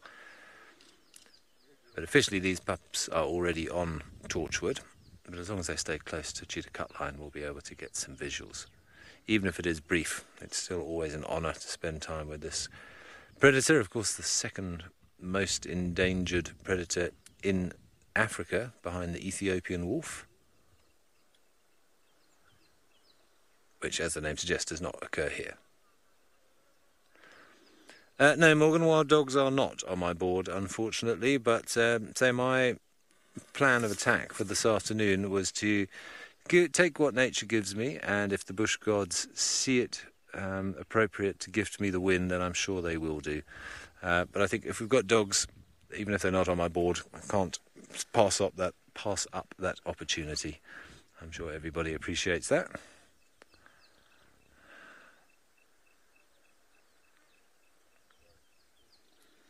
Everybody panting quite heavily in the heat. Just evaporative cooling, just like dogs do at home. So as they're panting, they're passing uh, air over their tongue, and that's basically sort of how they sweat. They'll be expelling heat over that tongue. Just let that saliva basically evaporate, and that actually does cool you down. It's the whole concept, of course, why we as humans sweat produces water on the skin, and then the air blows across that water. It evaporates, and in, by evaporating, it actually cools the skin.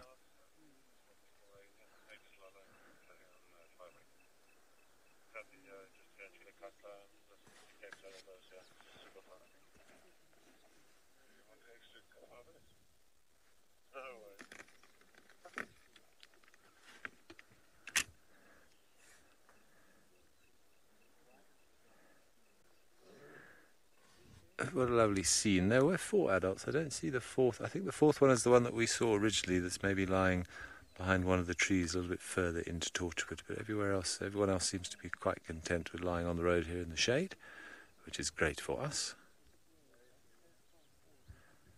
So alert, eh? Especially this one, he, he keeps sort of trying to lie down. They both do trying to lie down and relax, but then they got they hear anything or sense any movement, you can see how alert they are. But I, they doesn't doesn't look as if they've eaten this afternoon. Remember, they do have a very fast metabolism, uh, and the fact that they have been sleeping most of the day from when we left them. I think the last time they were seen was around about eight o'clock, and they haven't gone far from that spot. So they will have laid up during the day. Whatever they ate this morning will have been happily digested now, and they will be very much looking for food again this afternoon.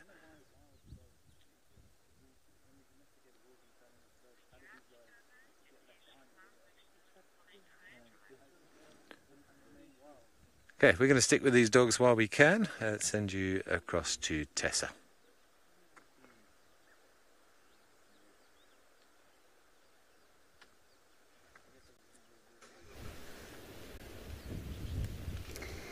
Well done, Ben, on some wild dogs just in the nick of time on Cheetah Cut Line. Well, well done. On this side, this takes me up to three. A big elephant bull, and he is looking so muddy it is amazing. I think he's had a very fresh mud bath. Now he's looking for some greenery and maybe a scratching post. But he is disappearing very quickly. He's already moved a good couple meters in the last kind of 45 seconds. he's making it very tough for us to follow him. I'm going to try and roll us back. Oh no, Rusty's not going to roll. I'll try and reverse us back but he is disappearing straight into the thickest section, straight into the sun in bush willows, which is really, really tough. Sorry, eagle. Very bright, but you can at least see that mud glowing on his back, nice and wet. I'm sure he's going to enjoy a good scratch on those trees later, try and get some of that mud off, take some parasites with it. And he is just a really, really massive boy. Doesn't look like it when he's hidden behind the trees like that, but look at those tusks. They're nice and thick. He's got a massive forehead, although he's doing a great job of hiding it. And I think it's just been so wet this year that the bush willows are a lot more full and tall than they were. So, although he doesn't look very big behind the trees, believe me, he is a good few tons and very strong. He's slowly putting some food in his mouth there. But I'm hoping he's going to come back this way. I don't think he will. I think he'll go find some shade. But I'm really just hoping he comes back this way because I'm definitely not going to follow and follow him into such a big, thick section. This is the worst block. The worst block to off-road. And this is where I got stuck. I don't know if you all remember, but when I was following the Lion Pride and Jonty had to come pull me out, this is where I got stuck, just here. Okay, there is my elephant. So that makes three in that row. So I need giraffe and dwarf mongoose. Dwarf mongoose will be easier than giraffe, I reckon, but we gotta try. Gotta try. I'm hoping somebody finds giraffe, but he's disappearing so fast now. Can just kind of see the tops of his ears and that ridge on his spine. as he's moving off into the thickets. But thank you everybody for confirming the elephant. At least I've caught up with Berenice, unless she's found more. But he really is disappearing. There's more of a view of the drongos than there is of the elephant. So I'm going to go find some mongooses. I'll send you back to Ben with wild dogs. Hopefully they keep him distracted for long.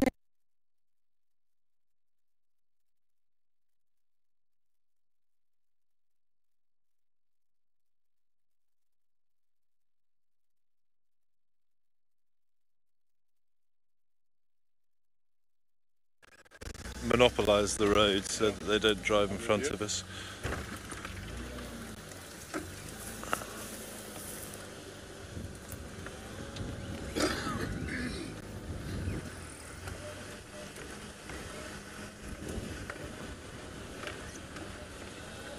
Oh, sorry, everybody, welcome back. We do still have the dogs here. I was just repositioning quickly there onto the road so we could get a better view. So they are lying on Torchwood now, but they are enjoying a little bit of shade, but certainly all heads up and alert.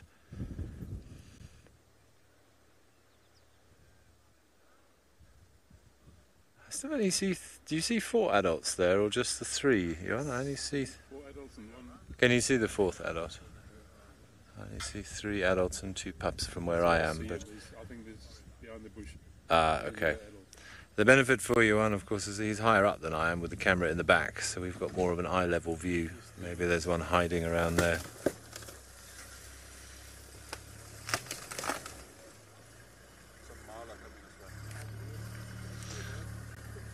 Oh, I have to watch their reactions here. Just a little report from one of the other vehicles that's just arrived in the sighting saying there are some impala mobile towards this area. So we'll see if the dogs pick up on that and maybe chaos will ensue. If that is the case, though, we'll just have to hope that they don't go deeper into Torchwood.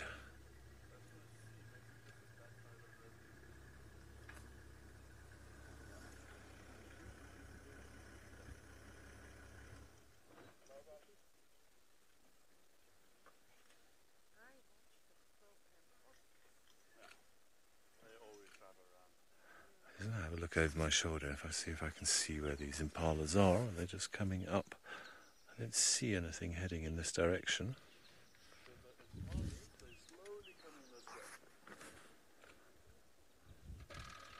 Okay, apparently there is a herd, a little herd somewhere south of us that is slowly coming up into this area. I'm just trying to see. The wind is kind of in the impala's favour. It's actually blowing the scent of the dogs towards the impala.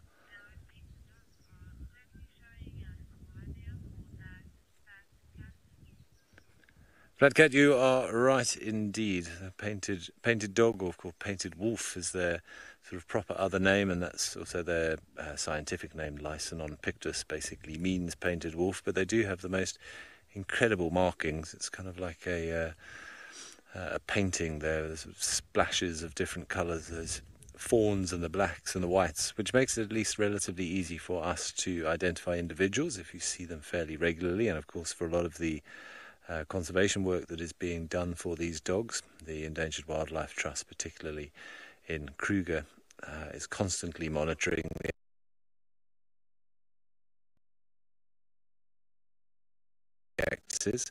It is easier to, to radio tag them, as it were, and uh, try and understand better their movements and their, their home ranges. Uh, I have to say, thankfully, I haven't seen many animals with collars on uh, in this area, I've seen two or three different packs of dogs now and haven't noticed a collar. Uh, I'm personally I'm not a big fan of them. Um, I understand it's less intrusive than putting something inside the animal, which is done in some places, like a, a little satellite receiver. Uh, but I never, from a photographic perspective, it's never nice to see an animal with a collar on, even if I understand understand that it is performing a good service for the sake of the species. It's always a bit of a shame to see that collar. But as I said, it is important. The more we understand, um, the better our chance of conserving. I mean, the delicate situation that these dogs are in with human expansion and habitat loss, these areas like the, the Kruger National Park and Madikwe um, are very, very important.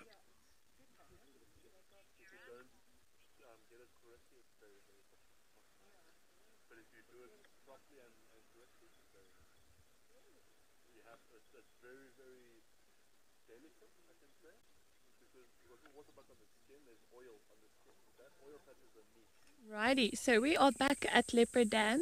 We still have visual of our wild dogs, the pack of four wild dogs. Um, it's a good time to just stop and watch them as it's starting to get cooler. And yes, these guys. Can anyone tell me when do wild dogs hunt? Are they nocturnal, are they diurnal, or are they crepuscular animals?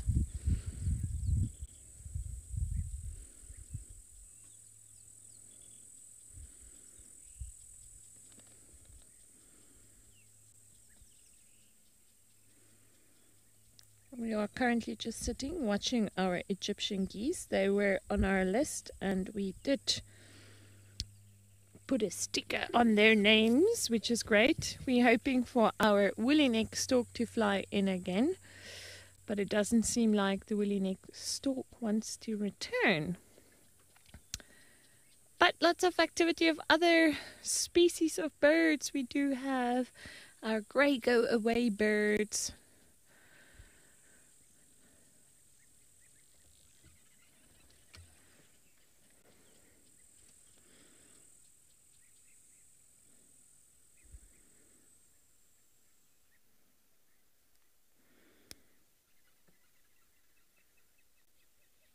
So I'd love to know uh, if anybody saw when I did my introduction when we started the show this afternoon. I'd love to know if anybody saw our woolly neck stork. He was in the water, ever so tall, and whilst I was doing my introduction, he was standing behind me in the water. So if anybody can tell me, yes, they have seen the woolly neck stork, I'd be so, so happy. Because then I got distracted and we came around, we found these wild dogs lying down.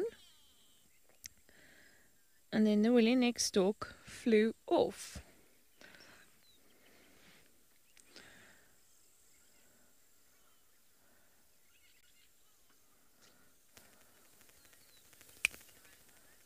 Well, we do have some uh, pearl-breasted swallows.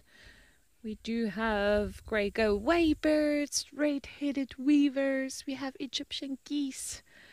And our woolly neck stork still didn't return. So question for, for our viewers. Who saw the woolly neck stork in the water behind me when I did my introduction?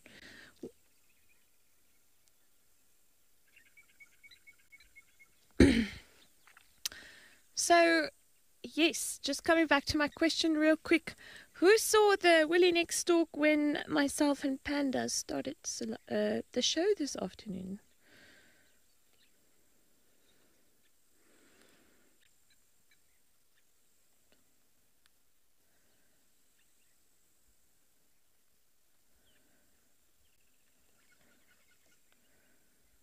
I'll probably just drive around to go see what our wild dogs are, are up to. They're still just lying.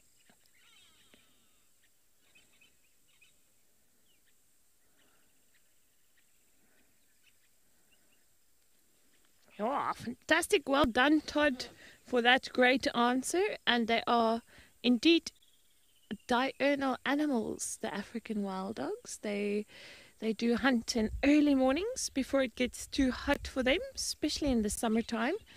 And then this time it's about 5.30, 17.30, so half past five. Uh, they should slowly start getting up and that's always nice to see when they start interacting with one another because they are so extremely social and quite vocal. So well done, Todd. Okay, so I'm guessing no one saw the woolly neck stork when we opened the show this afternoon. Um,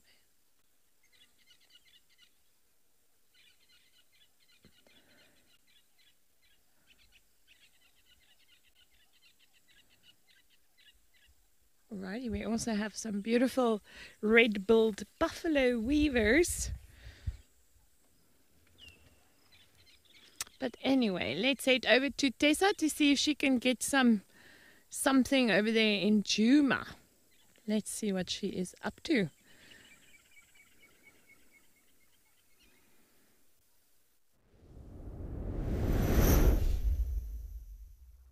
Oh, thank you, Berenice. I hope that that woolly necked stork is confirmed rather quickly because I think I've just overtaken your lead. This is item number four on the same row for me dwarf mongoose.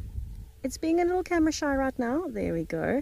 They're kind of running up and down the termite mound and they've been coming back out over the top to check us out in typical dwarf mongoose fashion. They've split up. One has gone back right, three have gone back left, one's been coming up from the bottom.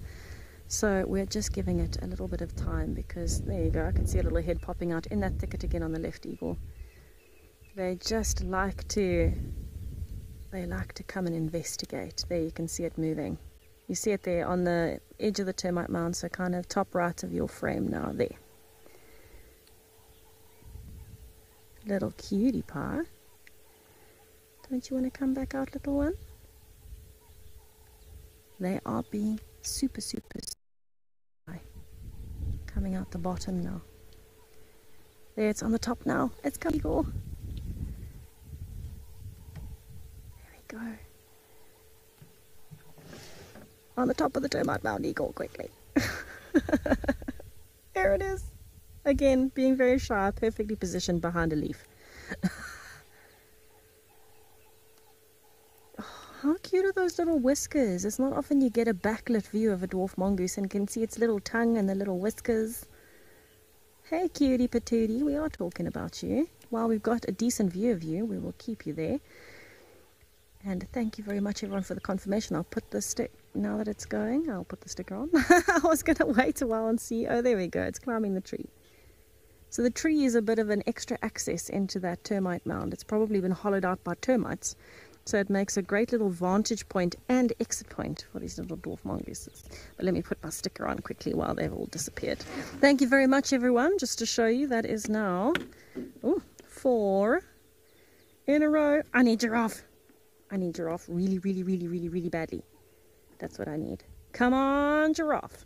So our plan is to go and do Philemon's cut line back up towards Quarantine, maybe towards Gowrie Dam, everywhere that I've seen giraffes recently. Hopefully I found some. Let's hope. Our mongooses are still being super shy though. But I'm very happy we got that little backlit view. How did you find one, Eagle? Being shy in the little log. Yeah, they've got lots of these beautiful little tunnel networks, and it's amazing how it all connects. You might even find that log, even though it's a good five, six meters away from the termite mound, might even be connected to the termite mound underground because what we see on top of the ground is just a fraction. It's the tip of the iceberg. It's just the tip of the termite mound, and the rest is underground in a massive tunnel network. So that distance in between that log you can see on the left and the termite mound you can see on the right, that's probably connected underground. And you'll find a whole different extensive network of tunnels. And this is really useful for them because not only does it mean the colony can expand really nicely, but it means they've got a lot of different entrance and exit points. So in case of an emergency, they have somewhere to go. Speaking of going, I'm going to find giraffes now that our dwarf mongooses are being super shy, but I'll send you to Ben who's still got the wild dogs.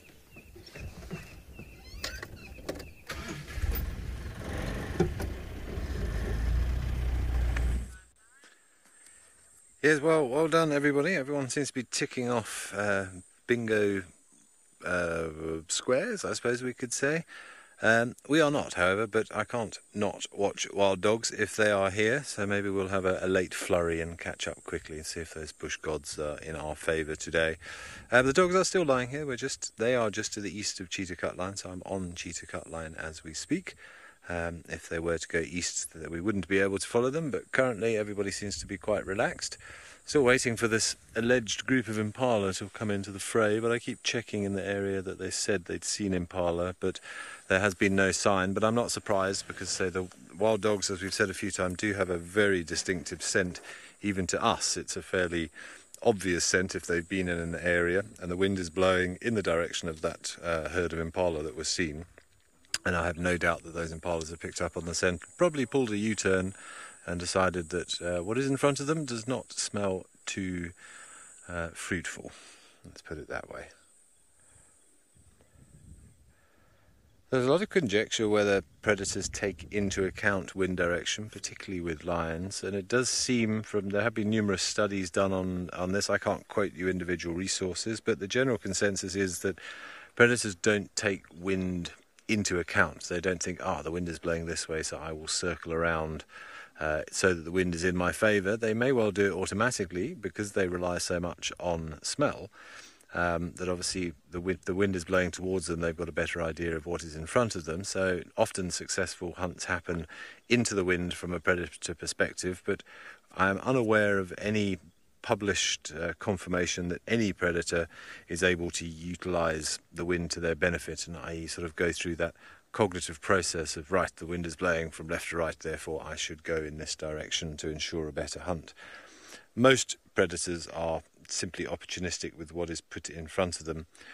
One that I discovered recently isn't, and we actually it actually came up. Trying to think where we saw it, uh, possibly on a clip uh, when we did the Halloween. Was that Portia jumping spider, which seems to be one of the very few predators that is able to make kind of a three-dimensional map of what it wants to hunt, have a good look, and then plan a route of attack in order to remain unseen and sort of use its surroundings to its benefit uh, which, if you think about it, for a spider to have the processing power to be able to plan an attack is, is quite horrifying, actually, especially if you don't like spiders. But of course, dogs rely mostly on their stamina. They can hit close to 70 kilometers an hour in a flat sprint, and they will keep up a pace of you know a good 40 kilometers an hour over two or three kilometers, and at that pace, that's normally more than enough to run any prey that they are chasing into the ground. So, if that prey cannot get to suitable ground or elude the dogs, uh, once they've been targeted, it's a bit like trying to shake off a missile lock in a fighter jet, I think. And so, when they are chasing as a group, their success rate is thought to be as much as, well, 70%. Some even suggest 90%, which I think is a little excessive. Todd. Hmm.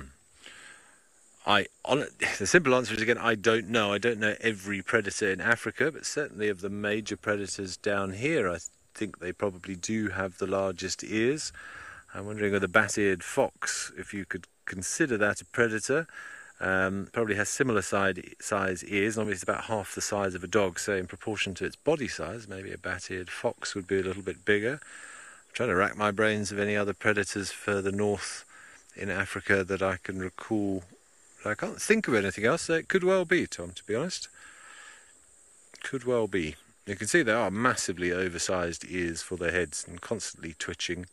They'll also help with cooling as well to some extent. Remember that when they're running and their body temperatures are going up so high, especially running long distances at high speed in Africa, those um, uh, the sort of the, the membranes in the skin there of the ears, it'll it'll help to, to cool the blood in the ears with that thin skin.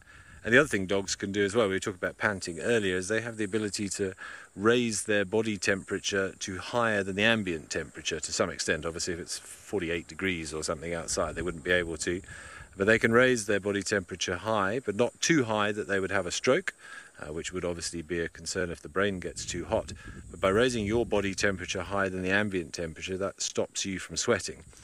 Um, and obviously, not losing water in that regard actually does help. So I know we were talking about sweating before, but if you can raise your body temperature above the ambient temperature, you don't feel the heat so badly.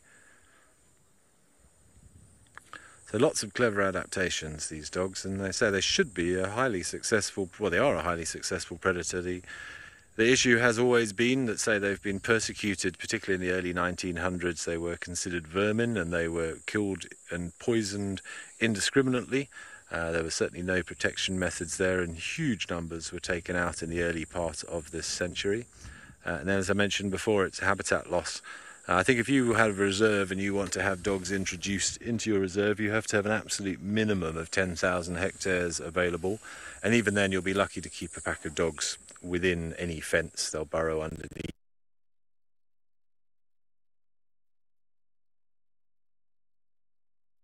The happy pack of dogs, you need about 35,000 hectares. If you consider Djuma itself is uh, certainly nowhere near that, that's why we, we have multiple packs coming in and out on certain days. We are just merely a part of their home ranges, and we obviously overlap with quite a few.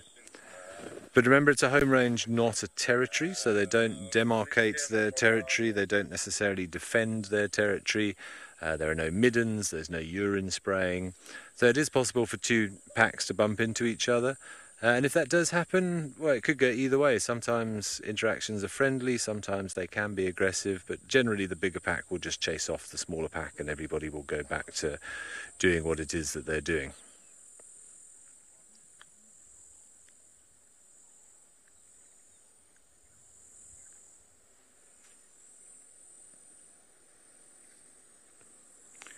But I think after we finish this, these dogs seem to be going flat, and I'm sure they're going east. Their general direction when they were found was east. They came along Mamba. They've already crossed the cut line, so I think after this we will probably leave them. As I need to tick off uh, a couple more stickers on this board, if possible, um, and they are they're definitely going to go into Torchwood at some point when they get up. Unless those impalas turn up on our side, of course but the wind is also blowing to them from the Torchwood side, which is probably dictating their general um, movement. Remember, dogs' sense of smell is incredibly acute.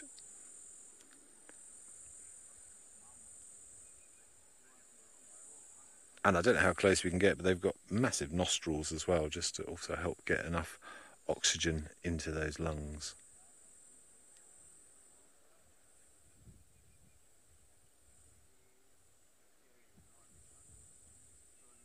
His ears never stop twitching. Huh?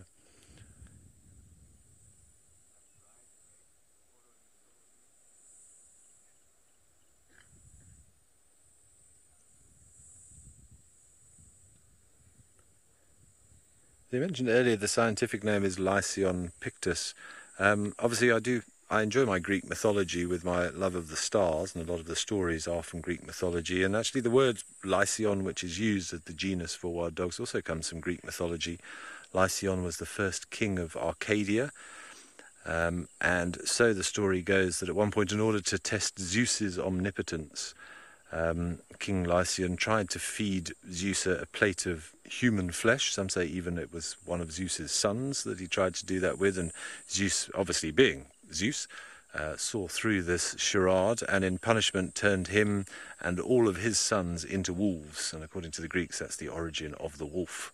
Uh, so why they have the name Lycaon for the genus. And Pictus is referring to that painted um, coloration we discussed earlier.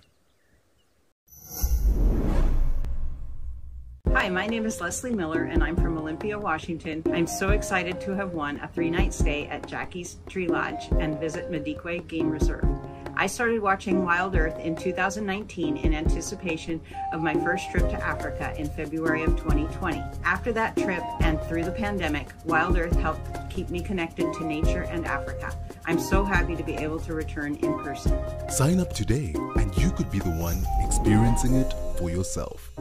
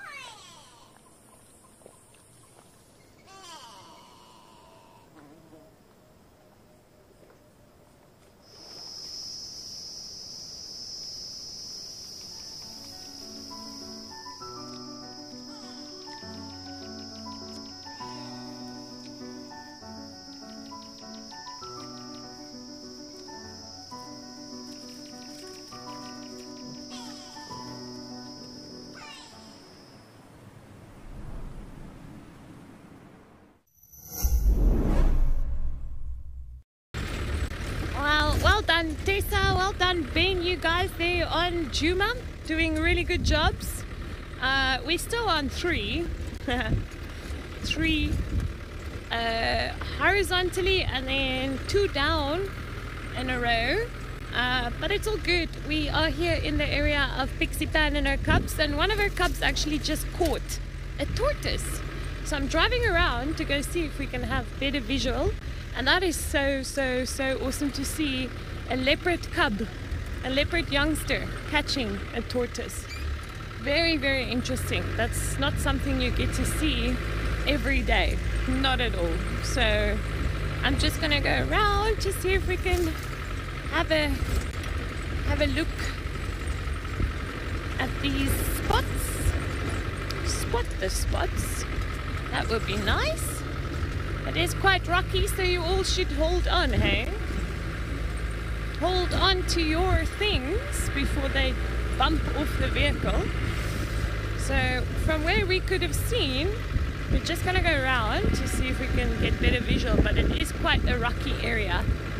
Um, but I think it's going to be very, very worth it to see this site, to have a, an awesome little visual on this little guy. So I don't know if it's the uh, little female it's the little male, because it's a brother and a sister. So if you can just bear with us for a few seckies, and then we're gonna just uh, off-road here for a while.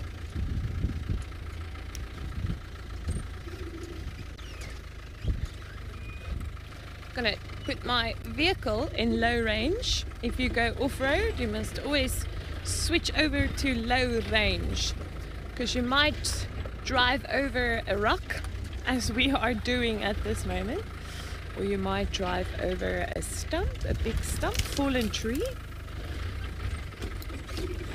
and just hold on, hold on. Panda is getting a nice bush massage.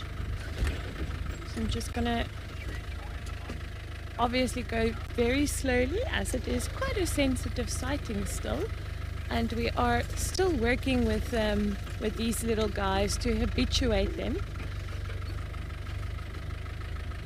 and not to scare them off for them to be comfortable around us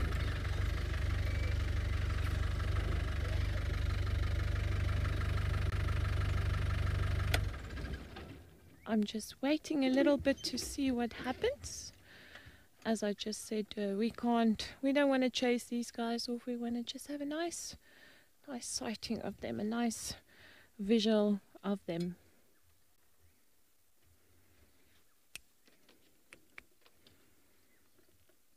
Alrighty, so there is a big tamboti in front of us.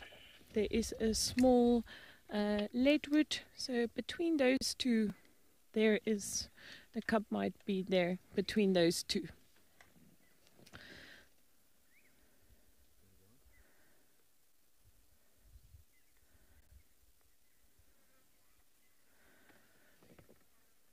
Okay, so we're gonna try our luck.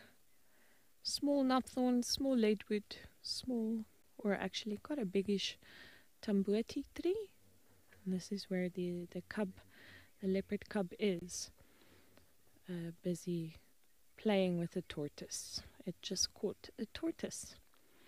And that should be something quite remarkable to see, as you don't get to see that at all or merely not at all, actually. So just hold on. Panda is working his magic with his camera. I'm just working my magic doing a bit of off-roading here.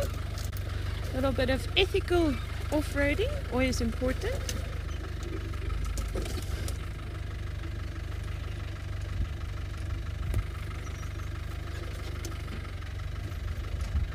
Let's see if we can see this little guy. They are extremely elusive little animals, especially when they are little.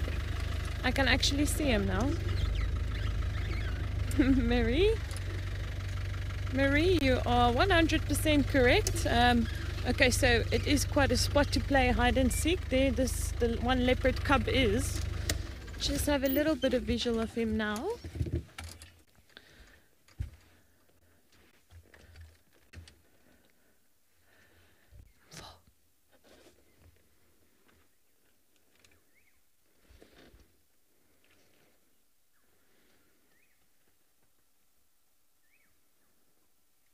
So yes, Marie, it is quite the spot for uh, hide and seek. It's very difficult. the cub is almost the color of that grass growing there. So yeah, it does make it a bit a bit more challenging to view these gorgeous, gorgeous animals. But yes, I also I would also love to see how this cub is playing with that uh, tortoise over there at the moment. And a panda can't see the little cubby anymore.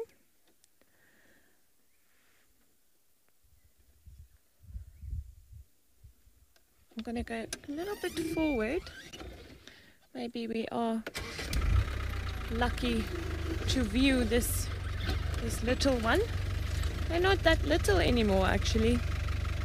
They've grown so so quick. Which they do. But yeah, it's a bit challenging to see this little guy at this moment. I think their bellies are quite full as they did have a kill, for sure. Yeah, so somewhere between the knobthorn, tambuti, and the lead, leadwood, this uh, little leopard is. Earlier when we when we got to get a quick visual on uh, Pixie Pan, they were busy feeding actually. You could still hear them crunching some bones and tearing some skin. Um, and now, Pixie Pan is flat cat. She has got a full belly. And I think the cubs as well.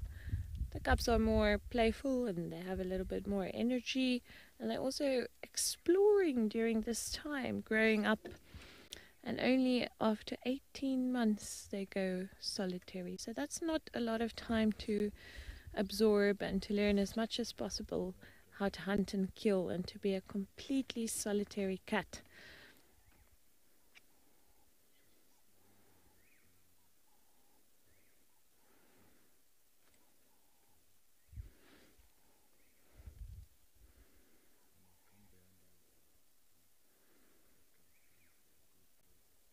Alrighty. But there is another naturalist at the moment with this little leopard cub. Oh, it's coming out of the bush now, actually.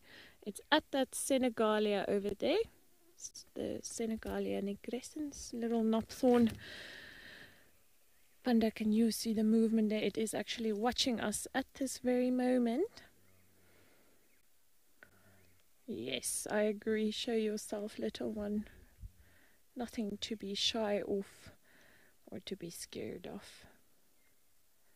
I think he is still quite astonished by this leopard tortoise, this leopard. So I'm gonna take a nice slow and a very ethical drive towards this little guy. He's literally watching us at this moment, but to see this leopard through the grass is quite challenging. It's coming out now. There we go, panda. And it's panting. Wow, this guy's grown so much. Hello, buddy. There we go, there we go, Panda. Oh. And it's actually snarling at us. Very cheeky. There we go. Beautiful. Nice one, Panda. As we said, show yourself, little one. He literally just came out. How awesome. And he's literally looking straight at us.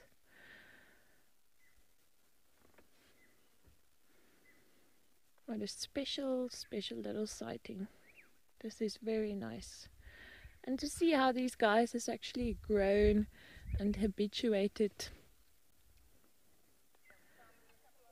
in these few months is very awesome to see. And how much more relaxed they became. Oh, and we are doing the leopard crawl.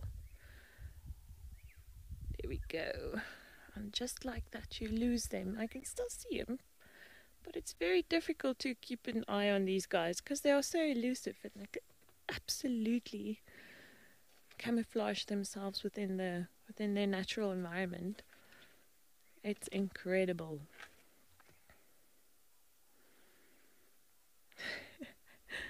Literally playing hide and seek with us. Can you see him snarling and growling, showing his, his canines, and also panting quite a bit. It's been a really hot day, and they have fed, so they got full bellies, digesting their food, and also trying to cool their bodies whilst panting. I don't know if you guys can remember the Shitali pranayama I taught you a couple of weeks ago those lionesses, but this is exactly what these animals are doing. The Shitali pranayama. How cool is this guy? hey, panda? Very cool, eh?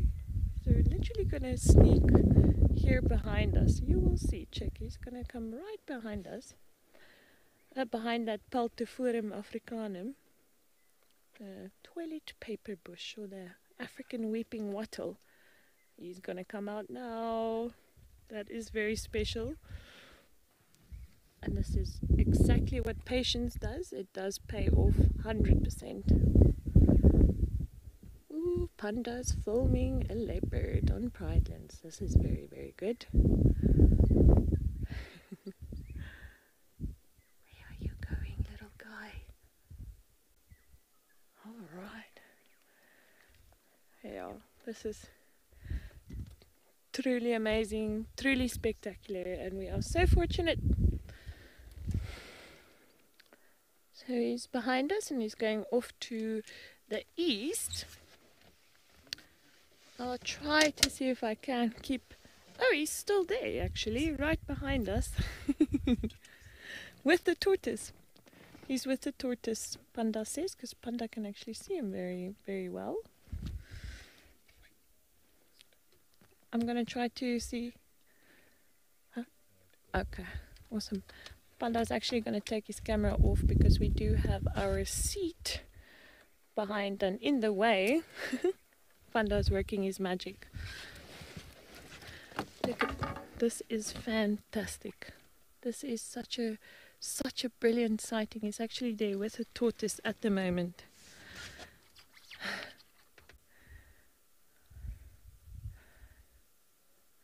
Teresa, good evening. Thank you for tuning in and what a great question. Does this cup have a name? And we have not named them yet, and I would absolutely love to to to name them. But we are still awaiting. We are still waiting for that moment where we are going to name them. Give them some names, but we still spending quite a bit of time with them to see what their attitude and their behavior and their own unique little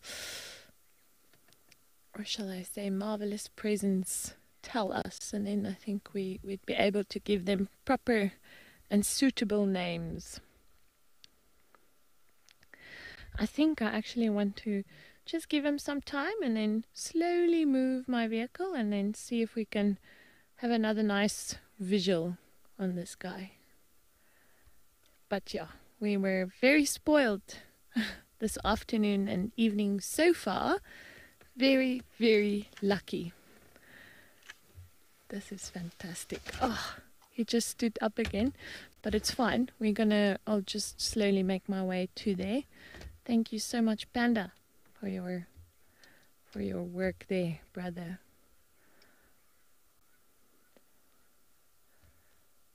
So special.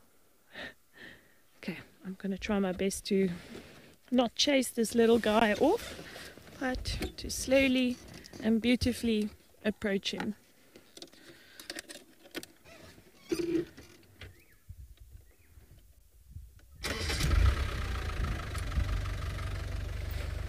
Okay, that's a good sign when you start your vehicle and they're not running off or really reacting to, to, to that, then it's all good. Alright, so let's head over to Tessa to see what she's up to on her bumble and we're going to spend some time with our little handsome man over here.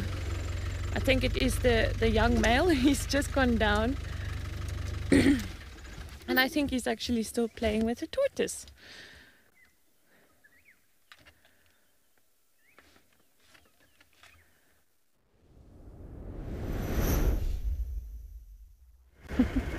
Good luck, Berenice. I hope you find the leopards. But I'm very happy that a cub made an appearance. That's really, really cool. I haven't seen a leopard cub in a while. Can't remember when last I saw one swimming. It was a while ago. But I am indeed on a giraffe search. It's the last thing that I need on my little, little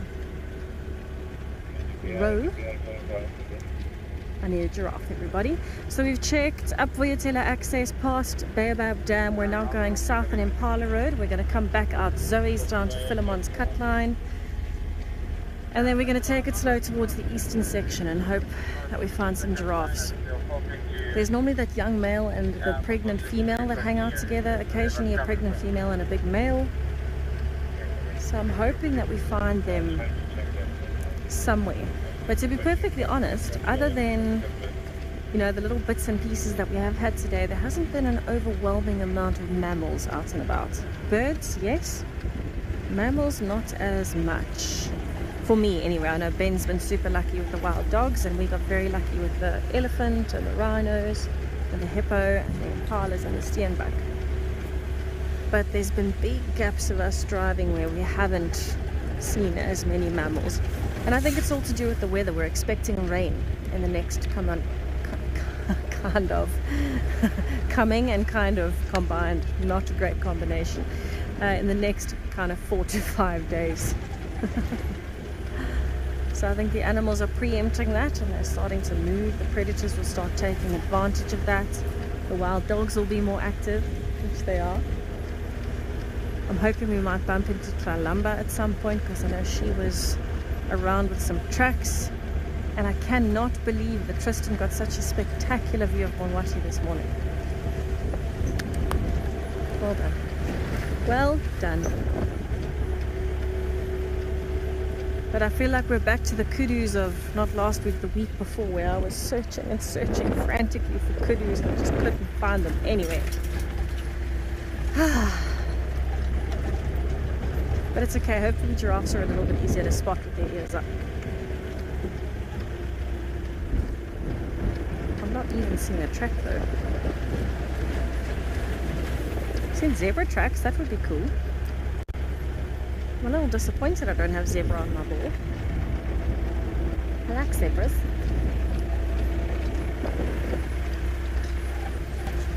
Oh no.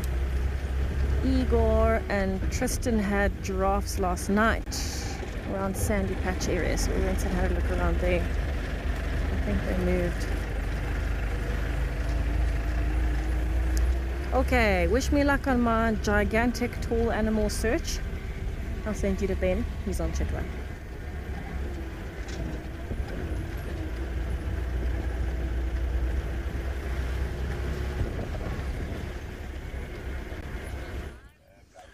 Anyway, it sounds like bingo is going to end soon if it carries on this way. Well, we've made our way to a very blustery Chitwa Dam. The wind is pumping here. But we've got a lovely scene in the background there that Johan's showing you with a nice little herd of elephants enjoying that open clearing beyond Chitwa Dam and sort of meandering in between those beautiful marula trees. Nice to see them out in the open like that, even if we are far away, but that's why we have a zoom lens. Um, I do need, I have elephant more than once on my board, so I will quite happily take your guys' uh, confirmation that those are indeed elephants, if you wouldn't mind, please. And then I'm also going to quickly show you some waterbuck because we need those as well. And I'm playing catch up somewhat. You see them on the other, right on the other side, John. It's going to be long distance view again, but we might as well do what we can. There's a little group of waterbuck, well, in fact, quite a big group of waterbuck over there. It's an unusually large group of waterbuck. Uh, 10 individuals there. You see the male at the front with his horns, and then a whole bunch of females with some juveniles there by the look of it. Uh, the other reason, of course, that I came here was because there was allegedly a leopard seen in this area this morning, but nobody knew sort of where it went. Uh, and I think it was last seen in the drainage line close to Chitwa Dam, so I thought it was worth coming down. And we think it was, might have been Marips, uh, which would be nice. I know he's not been seen on uh, at least for a long time, so that would be nice if we could find him. I believe I have elephant and waterbuck confirmations. Thank you very much, viewers. They don't really help me in my quest this afternoon, but uh, we will go for it regardless. Strangely, I still need an impala, if you can believe that. And we've driven past impalas and we keep forgetting to frame them. Uh, what have we got? Elephant and waterbuck. Uh, also, don't forget if uh, you do miss any of our live safaris or our escape to nature, we now have a uh, sort of a highlights and a best bits on our app that you can go on and look at. And that's sort of a little synopsis of what happened during the morning or the afternoon or escape to nature. So don't forget you will never have to miss anything else now with that little addition right you on which elephant are we going to go to? I don't like the look of this one which has got bush baby and snake in it. So I think we're going to have to do this one down here. Maybe we should just do a quick board update show people where we are. Okay, so we're beginning to catch up a little bit. We've got a couple of twos.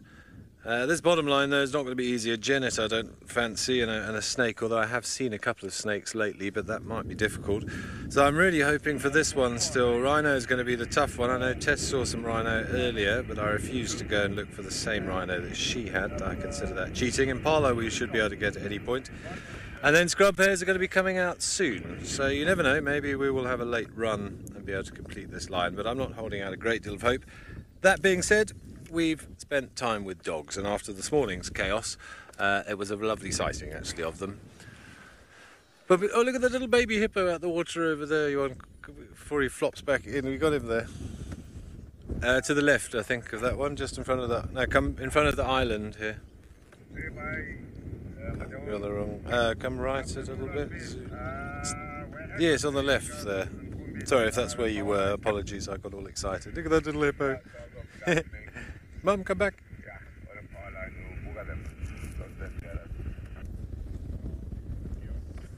Sweet.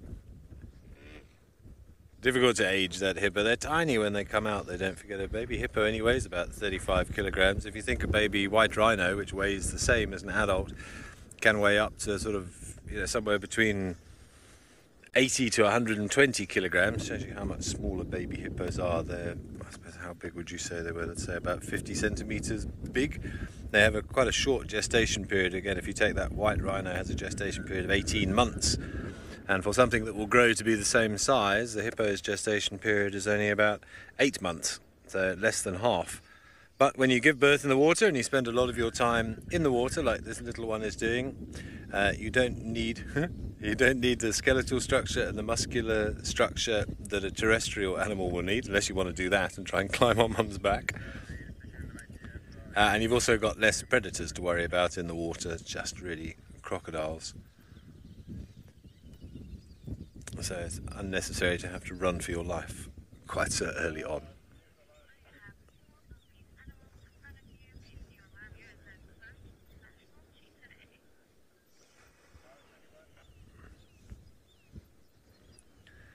Don't forget today is also International Cheetah Day. Uh, not something that we see very often here on Djuma. I think Tess did see a cheetah here probably six months or so ago, and I think I had tracks for one about a month or two back as well that was possibly came through, but not really the right habitat. Although this nice open area around Chitwa Dam would be perfectly suitable for a cheetah, but we do have a very healthy population of lion, leopard, and hyena, so it's not really ideal for cheetahs here. But down in Amakhala, that'll be a good place to celebrate World Cheetah Day.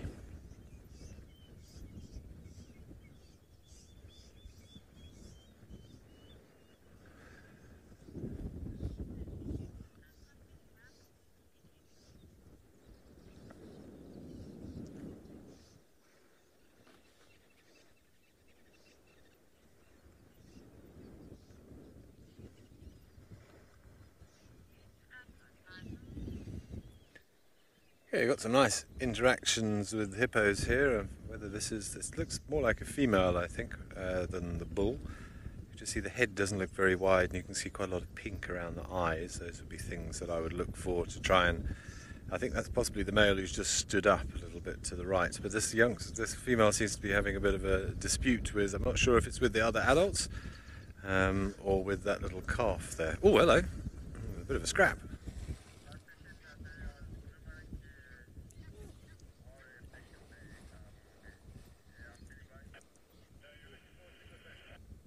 I'm not sure what was going on there, but that is one of the reasons that you often see hippos with scars all over them. Those teeth, particularly the bottom um, incisors there, are razor sharp. When the top and the bottom incisors close, uh, they sort of self-sharpen each other. Sure, wind's blowing. Um, and when they sort of whiplash their head across like that, they can slash and they can create some really, really nasty, deep slashing wounds across the back. Uh, but thanks to that secretion that the skin makes, that uh, acid, uh, which is very rich in antibacterial properties, it's, you'll almost never see a hippo with a, a festering wound. The oxpeckers will also help to keep it clean, eating any parasites and things that try and take up residence in those nooks and crannies from, uh, from disputes.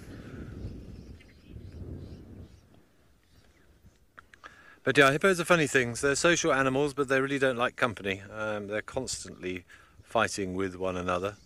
There was one who stood up just behind those two that were having a bit of altercation. I think that was two females. I think the male is slightly further back. There's one there with his back is covered in cuts and scratches, and it's normally the males that do fight more than the females. But it's a good time to come and view hippos late afternoon as they're beginning to sort of wake up and get ready for their evening of foraging.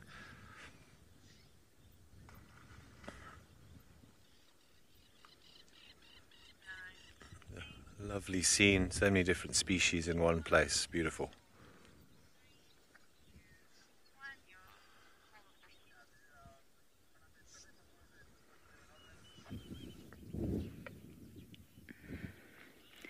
Good afternoon, everyone. Better late than never, huh? We have finally joined the party at Madikwe Game Reserve. We are having the most bizarre afternoon sunshine, rain, thunder, and lightning. I don't know. Davi said something about a monkey sweating. I don't even know what that means, but that's what we're having. So, good afternoon, everyone. My name is Lauren. Davi's behind the camera, and I don't think anyone's won bingo yet. I've got a massive disadvantage coming out late, but I'm hoping that you guys can clarify for me zebra, impala, and giraffe once Davi shows you the storm, you can hear the thunder. It's crazy. We were basking in sunshine and we were a little bit late out after load, shine, um, load shedding, not load shining, because it was raining so heavy. And I told FC, it's raining. But then I realized when they saw us, we were in sunshine, so it's very confusing. Hopefully, you'll get to see some lightning. But here we have giraffe, zebra, and Davi just a little bit over to the right, we have impala. So I'm trying, everyone, I'm trying to play catch up. If any reserve can play catch up, it's Madikwe.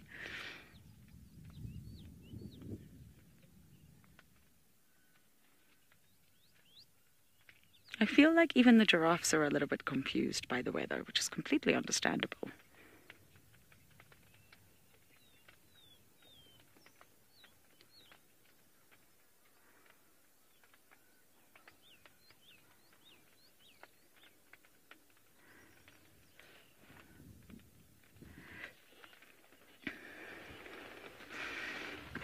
Oh my goodness, we have confirmation.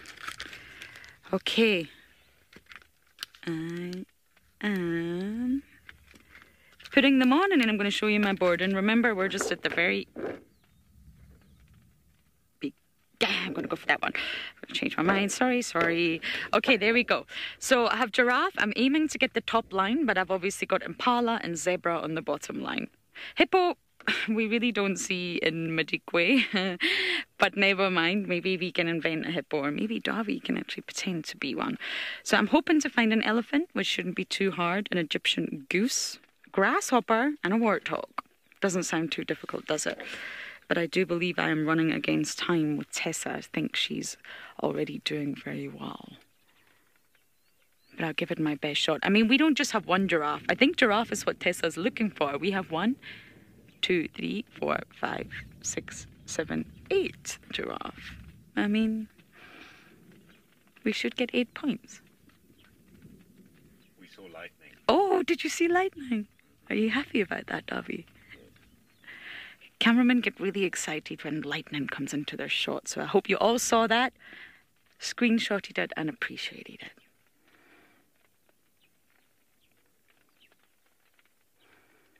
As long as the skies don't open, we'll be okay.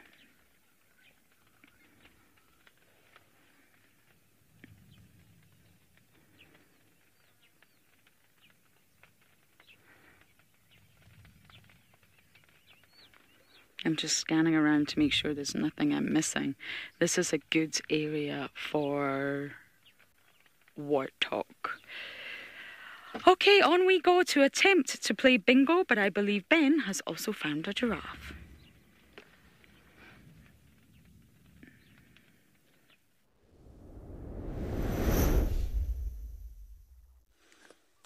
All right. Oh, welcome, Lauren. Uh, briefly, and good luck that side. You haven't got long, but I have every confidence in you.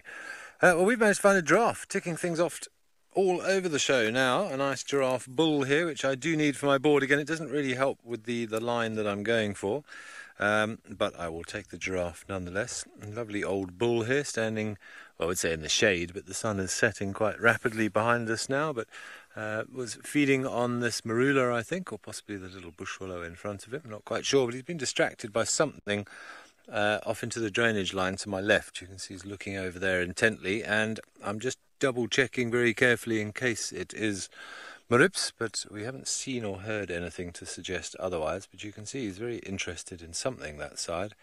But that is where the wind is blowing from. So maybe he's also picked up on a scent. So we're going to check very carefully in this area. And strangely, I still need to get an impala, but we're heading on to that big open area behind Chitwa. Uh, and there's normally, normally, he says, there's normally hundreds of impalas there. Okay, it's Mr. Giraffe. You're going to hide behind the bush. That's...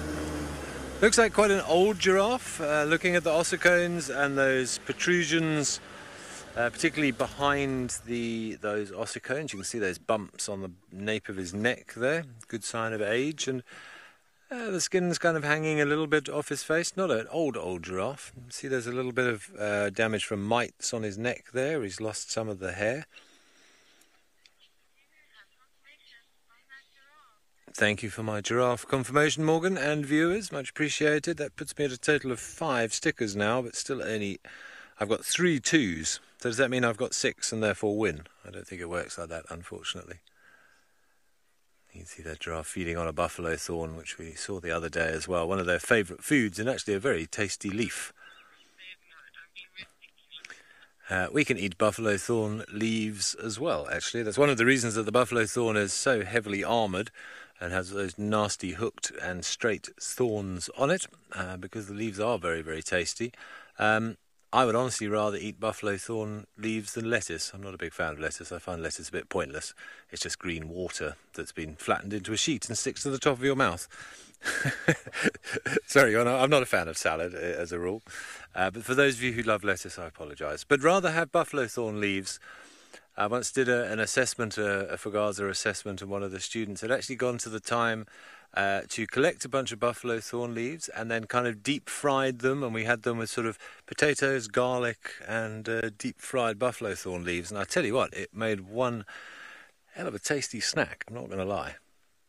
I actually think it tastes a little bit like apple peel. If you imagine peeling an apple and eating the peel, it doesn't have that really horrible tanniny taste uh, that a lot of leaves have. And for that reason, it's very attractive to the animals, and that's why the tree has uh, developed this rather nasty and and really uncomfortable mechanical defence. Anyone who's ever got stuck in a buffalo thorn will know exactly what I mean.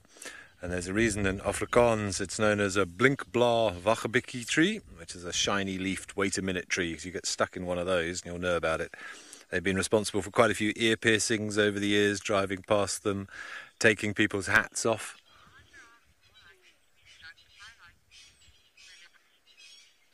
I didn't quite catch the name there, Morgan. Was it millipede?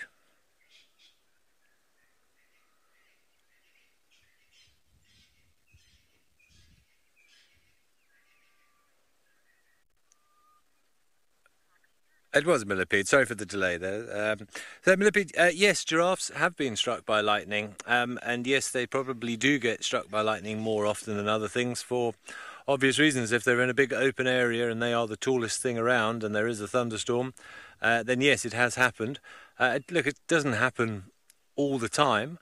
Uh, I'm aware of one or two places uh, where I used to work. For example, we had some giraffe bones uh, that were quite close to one of the roads, and the story I heard was that was from a giraffe that had been struck by lightning. So it does happen sometimes, um, but so it's not the sort of thing you would expect to happen every every summer. You're not going to have a massive dip in your giraffe population because of lightning strikes, but it is certainly a danger.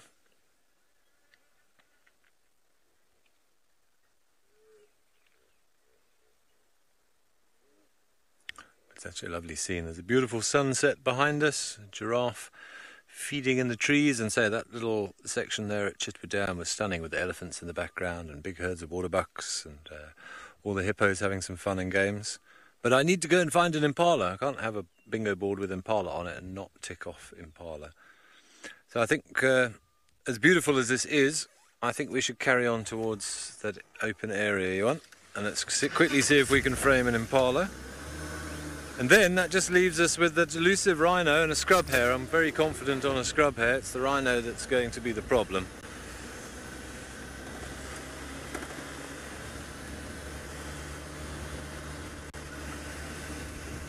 Okay, so I fully expect to see an impala in the next 30 seconds or so.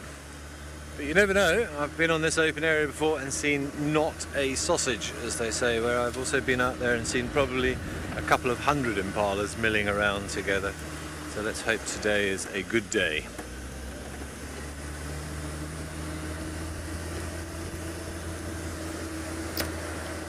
If I can remember the route, I haven't done this road for a while.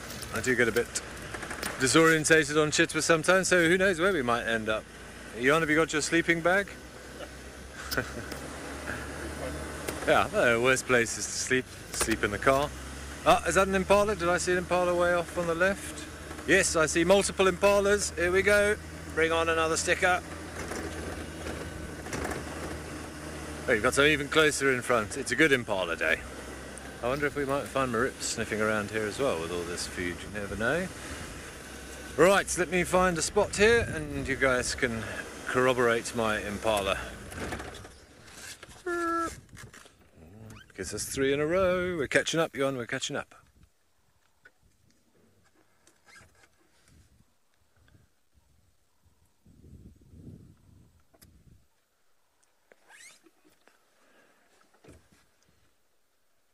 Hello, ladies. Giving us a good look.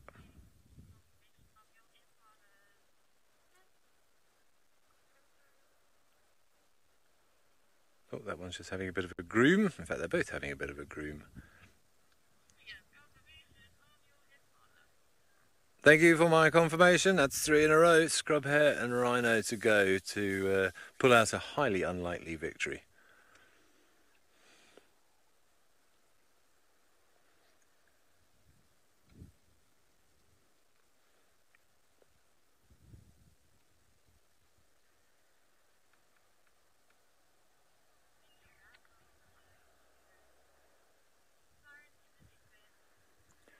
Okay, well, we're having a little bit of a, a, spate of ticking off bingo boxes. Let's see if Lauren can also join the fray up in Madikwe.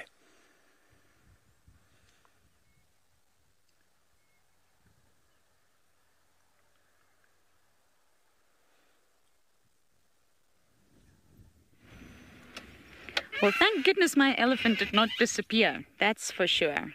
Because I need you, youngster. You're all nice and wet. Elephant is on my board. So I will wait for your confirmation and hopefully I can start to get somewhere. My trusty old Egyptian goose was not at the pad it's normally at, so hmm. Mm-hmm. I'm gonna need to go searching for Egyptian goose. Oh, come on, little one. It's not a nice view of you. I'll try and reverse, Dobby.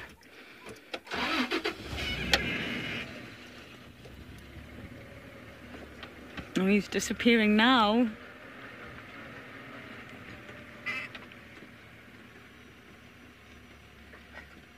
Can we work with this? He's going to keep moving away. But once I get your confirmation, I'll put the sticker on my board and get racing. Racing against time to find other animals. Excellent confirmation.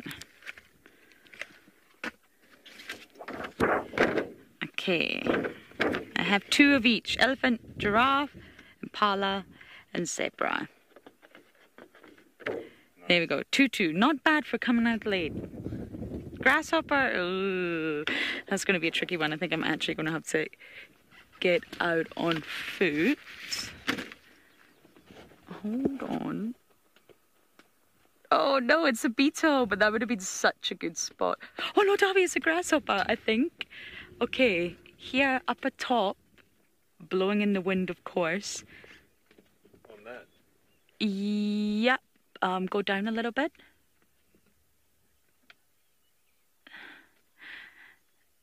Mm, was that? Oh dear, now I can't find it. Okay, I'm on the hunt for grasshoppers now, but I believe Pridelands have found their leopard again.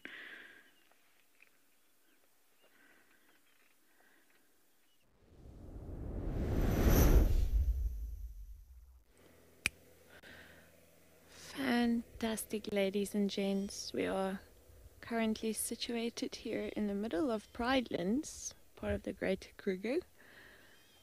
And uh, we came back to the, the kill of Pixie Pan and her two cubs, and all three is here currently. We have visual of two. It's Pixie Pan and actually Peter Pan. They do have names, just to update you on that. So the male youngster's name is Peter Pan, with Pixie Pan as the leopardess, the mother, and then the young cubs. Um, the young female is called Tinkerbell. So there we go. There we have our trio, all from Disney. How very sweet is that? Pixie Pan. The young male cub's name is Peter Pan, and the young female cub's name is Tinkerbell. And as you were asking that, someone just updated me because I've been uh, traveling a bit and I've been away for a, a while, and um, I was never informed that they actually did receive names. So it's quite special to know that this will be their names from now on forward. Very, very cool characters. I must say. What a beautiful sight that is with Pixie Pan and Peter Pan on the rocks, and then we can hear Tinker Bell underneath this small marula feeding on the kill actually. And it just shows you once again the bush teaches you so much patience. I mean, we were spending time with Peter Pan, and then we loved and left him. We came all the way around to the kill which I can still hear her feeding little Tinker Bell. Came around, sat here for at least 10 15 minutes, and then they all came together again, which is quite special.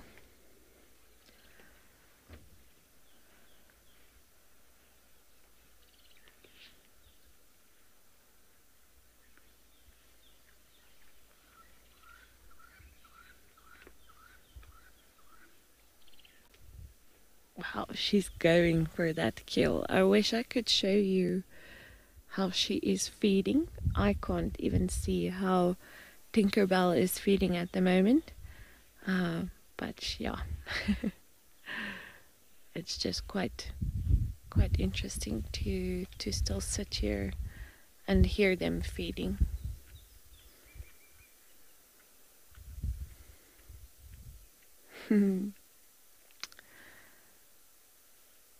Well, if I just look back, seeing these cubs a few weeks ago, they it's actually been a few months ago now. they were still so shy and so skittish, and uh, now they are quite relaxed with us being around. They are trusting us more, And it just shows you that the work also pays off. It's never a good thing to push any animal and to treat them unethically. It's never a good idea. And uh, for you to be able to spend time with them and to treat them with utmost respect and to always uh, approach them in a really nice and gentle way, this is what pays off. Very, very special. And also Pixie Pan, she's a great mother. She's a very, very successful leopardess raising her two cubs up until this size, this age. I mean, they must be 10 months old now already, if you think about it, close to 10 months. And after eight months, they're going to be all on their own. From a year and a half old, they're going to start leaving mom, or mom is going to actually start leaving them, and then they're going to be solitary. How's it, Caleb? I totally agree. Caleb is saying the cub is so cute. It's still so weird for me to call them cubs, but they are still cubs. They are still quite young, uh, but they are almost as big as mom at this moment. So yeah, it's it's incredible. They are very cute. I agree.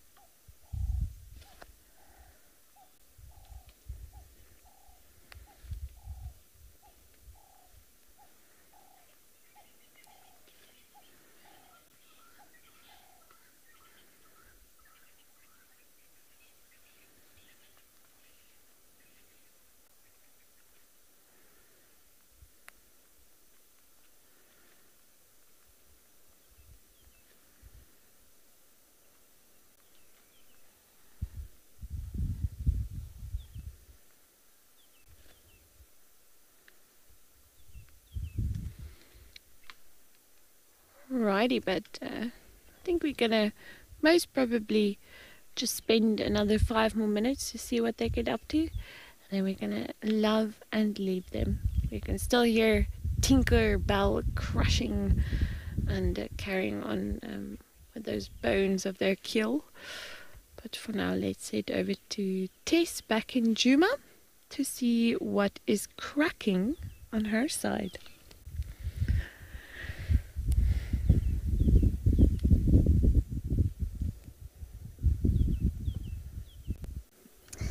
Excellent timing, Berenice. Uh, I have not found a giraffe, but I have found a hyena coming down to Treehouse Dam with a beautiful sunset.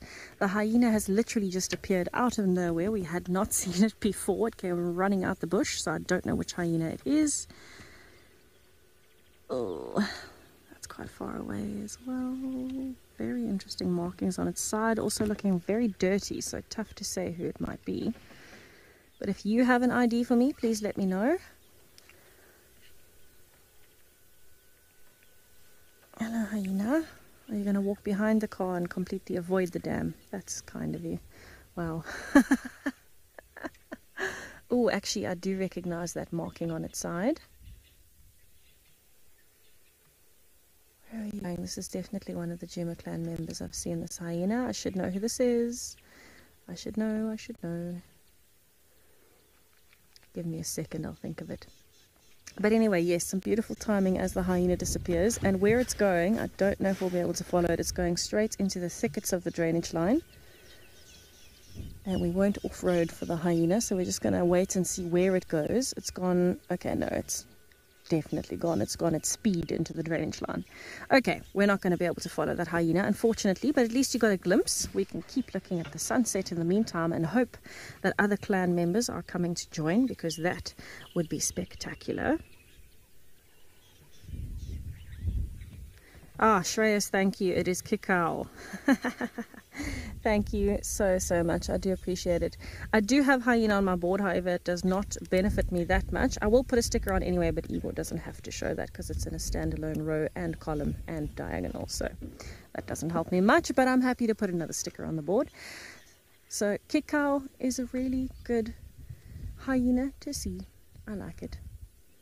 Um, because I was distracted by Kikau and a sticker, I don't know who I'm sending you to, but I know I'm sending you somewhere, so I shall send you there while I watch the sunset. Oh, Ben, thank you.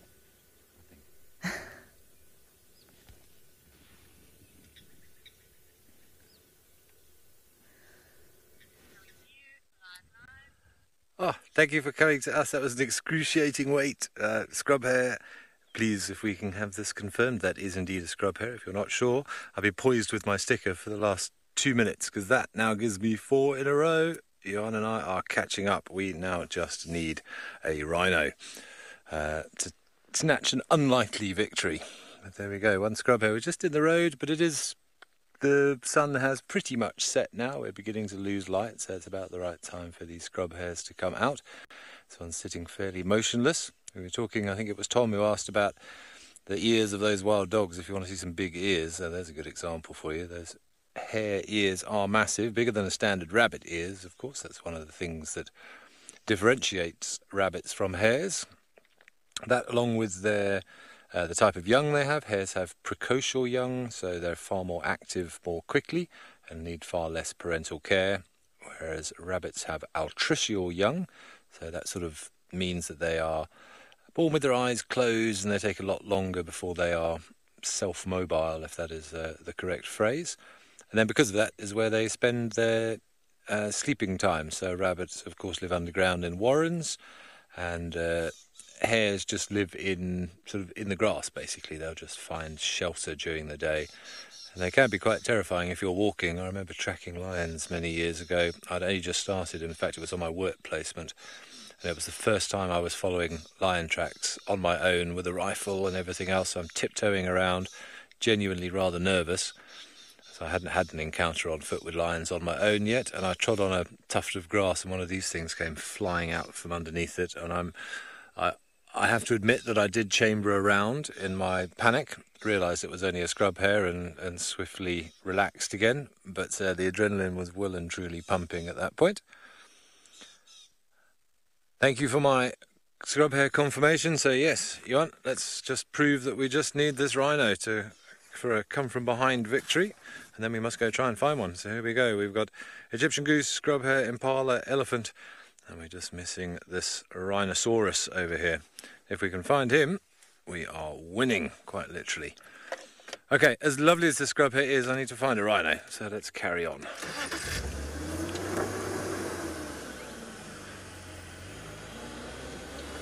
I think there's a couple of us on four in a row. I think I heard Tess was on four in a row and possibly Berenice as well. So this one looks like it might go down to the wire.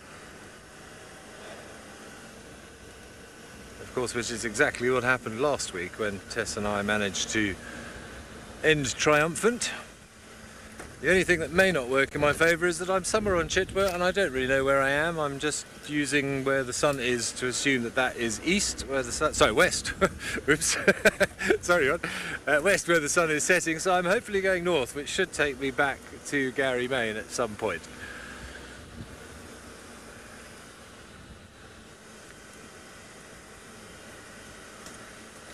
Uh, the good news is we did see some rhino tracks earlier.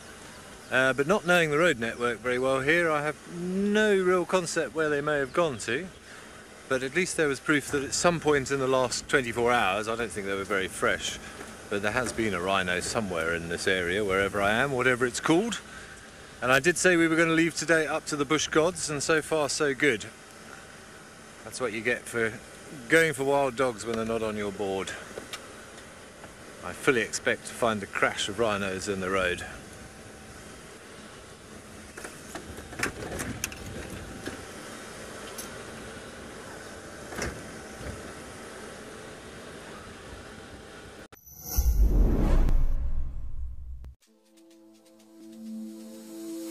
Is unbelievable. Unbelievable. Join me, James Hendry, on an odyssey through the most adorable, fascinating, and heart-stopping moments that we have experienced here on Wild Earth.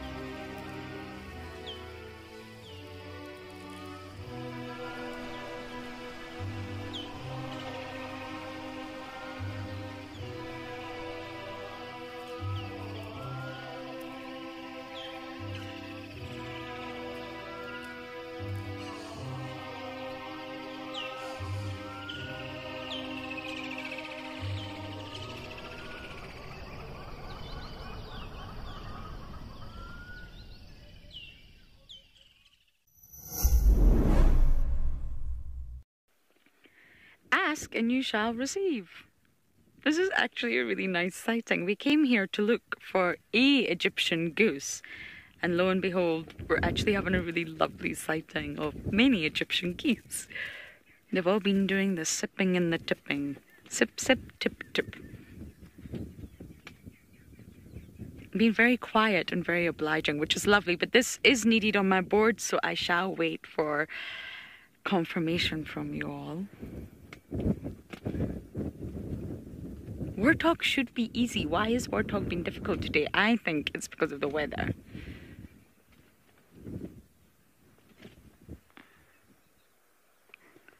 But I'll still try. We're going to turn back on ourselves and go to the airstrip. The airstrip, you normally find tons of warthogs.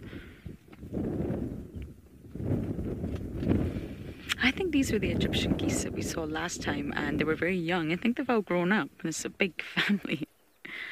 A big goose unit. Gunit.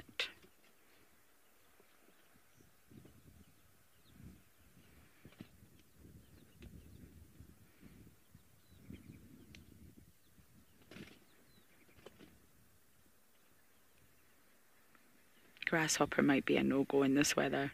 We're losing light as well. Excellent! I now have three. Elephant, Egyptian goose, or Egyptian geeses, and giraffe. Doing, doing, doing. Warthog we're to go for. Grasshopper. Oh, it's to be tricky. But we have got a little lamb on the wall. Look at that dovey. Oh. We saw our first wildebeest calf yesterday. I wish we'd went live with that. The first one. And I wanted to ask the Djuma teams, have the wildebeest started dropping calves in Djuma yet? It was our first one. I haven't seen any other ones. And it was so young and wobbly.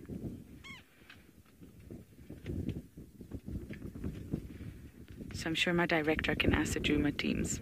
I know it's normally December, but I just wonder this year maybe if they have dropped already.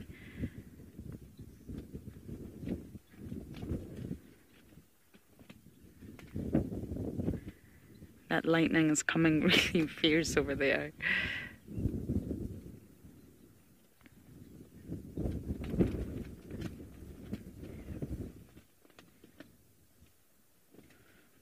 Do just want to try and show you the sky. It's pink, pink, like Barbie girl pink. Apparently, the Barbie the movie is coming out. What could that possibly be about? But anyway, look at that. It doesn't actually look as pink on the screen, but I promise it's pink. Looks like a volcano erupting. Darby and I actually slept up the top of a volcano in Ethiopia. Yes, we did. We decided that that would be a really good idea, and it was an active volcano, and we were really not too far away from the lava, and the smell was unbelievable. We didn't have a blanket or a pillow, just a thin little mattress at the top of a volcano. If any of you want to do it, let me know. It was delightful.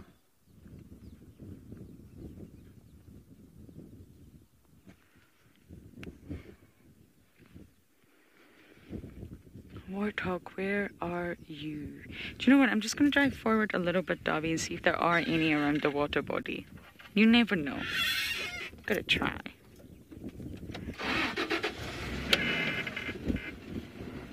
Anything could be around this water body, actually.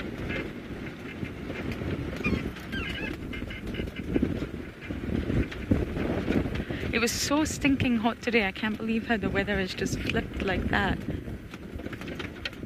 Hello, Egyptian geese. Thank you for being here.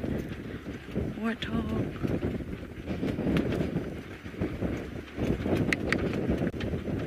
Mm. Dobby, you've got keen eyes. Can you find me a warthog, please? Look at that sky. Oh, wow we might actually spend a little bit longer looking at this. But we are going to send you guys over to Ben.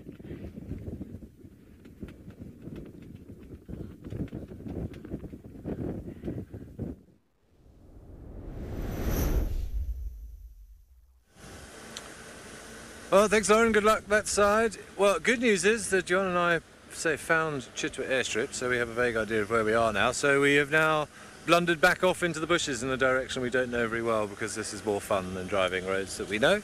There's still another 15 minutes of light. I'm confident we'll find our way out and I am very confident that I can navigate with the stars and it is relatively clear at the moment as well. So still very much on the hunt for that rhinoceros. Plenty of elephant evidence on this road. You can see a sort of a drag, uh, drag mark of a trunk a little bit further back as well.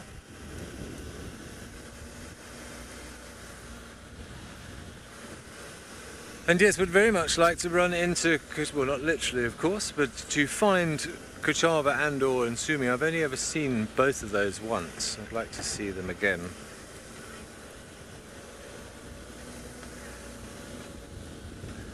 Uh, thank you, Denise. Yes, we are. I'm. I wouldn't say I'm confident of finding a rhino, to be honest, but I say I don't know this area very well uh, that I'm in, and so therefore I'm giving myself a better chance than otherwise. But they've got four legs. They are tetrapods. They can travel, so anything is possible. Uh, but there's nothing quite like a bit of healthy competition. I'd pretty much given up even being a part of bingo after we had uh, the dogs and things this morning, oh this morning, sorry, this afternoon. I thought, no, we'll get distracted with the dogs for a while, but instead I left it up to, to nature to do its thing. And uh, yeah, so far so good, eh?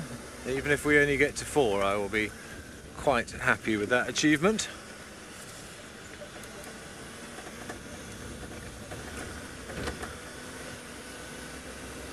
Okay, I think I recognise where we are again. I'm beginning to understand Chitwa.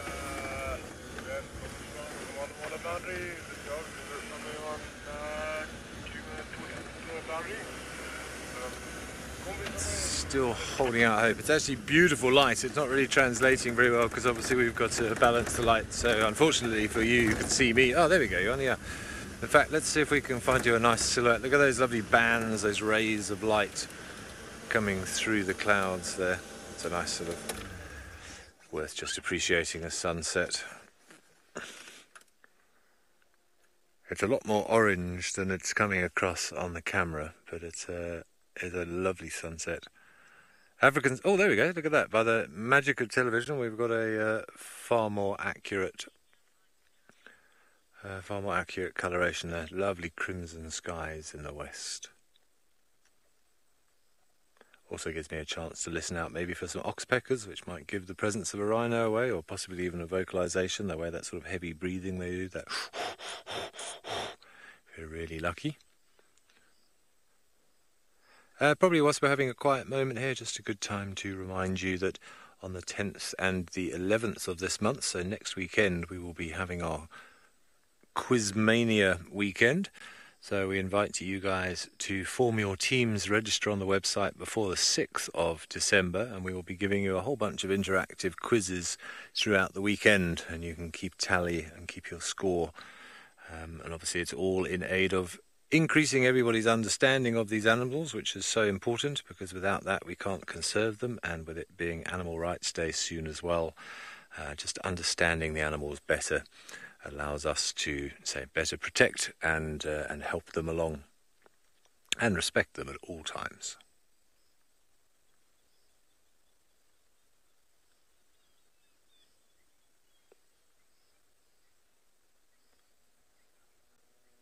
He seems to be in a very quiet area here. I can hear water thick-knees in the distance, some Natal spurfowl, but everything's far away. There's not much happening where we are. It's very silent, bar the wind rustling through the leaves against this lovely backdrop. Well, it seems like we're not the only one enjoying a sunset, or at least the sky. Let's send you back up to Madikwe and to Lauren.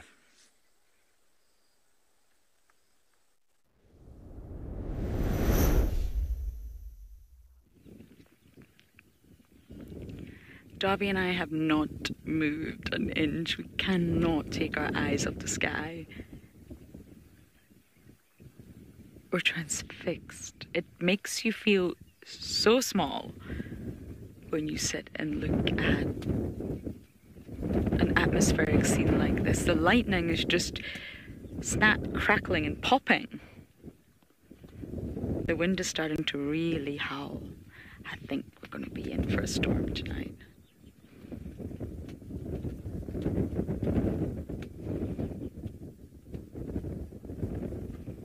There's nothing quite like being in your bed, your big cozy bed with your memory foam pillow and your thick blanket, listening to the storm. That is one of the best feelings in the world.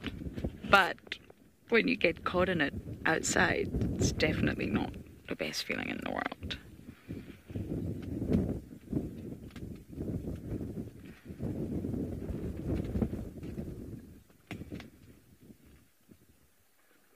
I often think what the animals feel, what the animals think, but to be honest, they'll be very familiar with storms.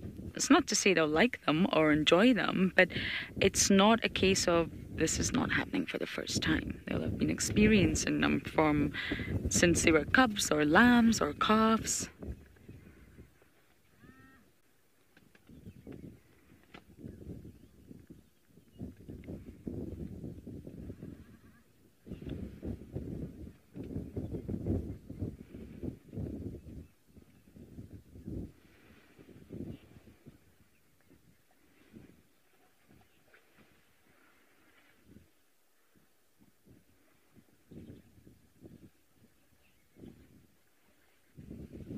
Maybe they are scared. I know dogs, especially my old dog, she was terrified. We actually had to look at getting tablets for her to calm her down during fireworks and storms. And there are tablets where you can sort of mildly, mildly sedate your dog. Now, I don't mean drug them, but just calm them down a little bit because it can bring on heart attacks. But of course, for wild animals, it's different. They have no choice but to survive.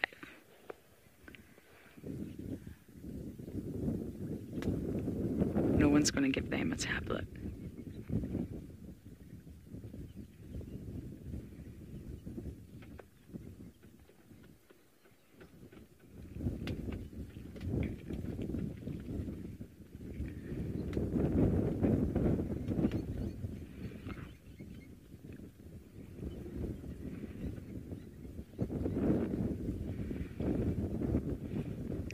Trying to hide my mic from the wind, but it's picking up a tenfold. It's feeling really dramatic.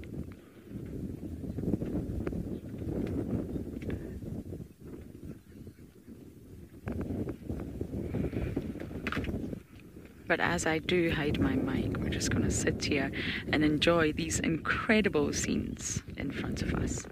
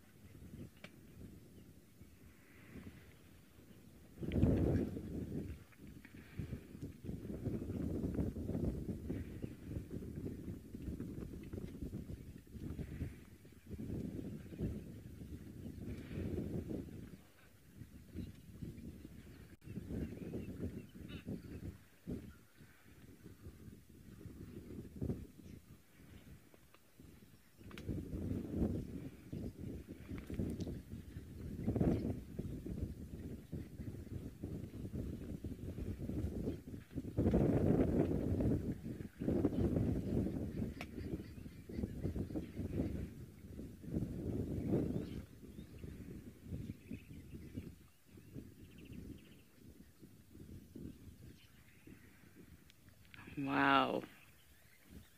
This is just blowing me away. But I don't think anyone's won bingo yet. I have a grasshopper to find. Ah. How does one find a grasshopper in low ambient light? This could be a little bit challenging. But I do love a challenge. Darby, shall we start looking for warthog?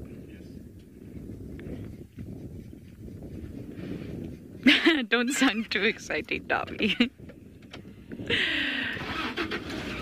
okay, warthog, here we come.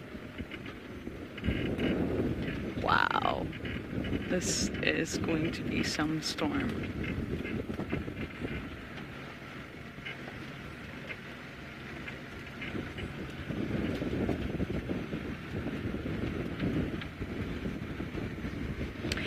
Once it reaches this time of night, me personally, my eyes just, I really struggle to see. I have had laser eye surgery when I was younger. I used to be minus 5.5, which is pretty bad, but I just struggle in this light, and I think most humans do. We're not really crepuscular animals. We really are strictly diurnal, or we're equipped to be. I know some of us are night owls. I am definitely not and this light is a big struggle. It's not dark, it's not dark enough for you to put your spotlight on or even your headlights, but it's low light. And this is when I start to see things, so this should be really fun, especially when looking for grasshoppers. Hmm. Okay, warthogs, here we come, but we're going to send you guys over to bed.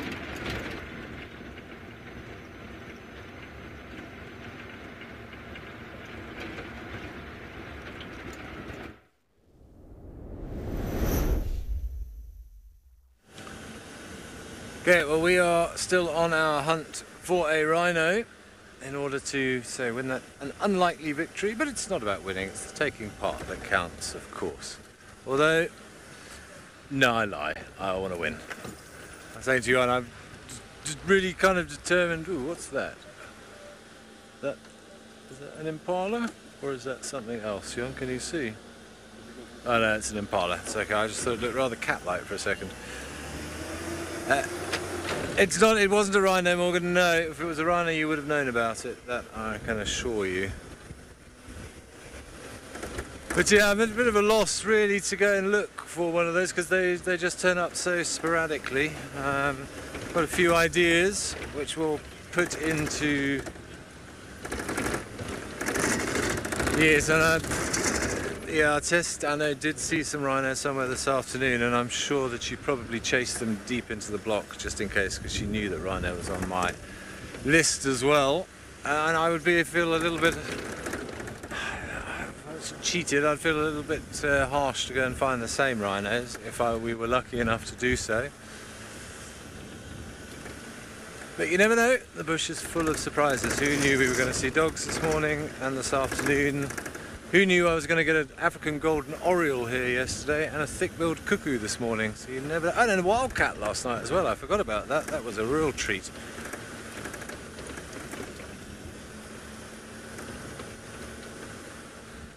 But yeah, there's a couple of areas that I know might bring us some luck. Uh, so I'm going to sort of head in that vague direction and cross fingers. I'd like to know what does Tess still need? Morgan, can you tell me? Just so I can make sure I don't give her any help. oh, I'm bitter and mean, hey?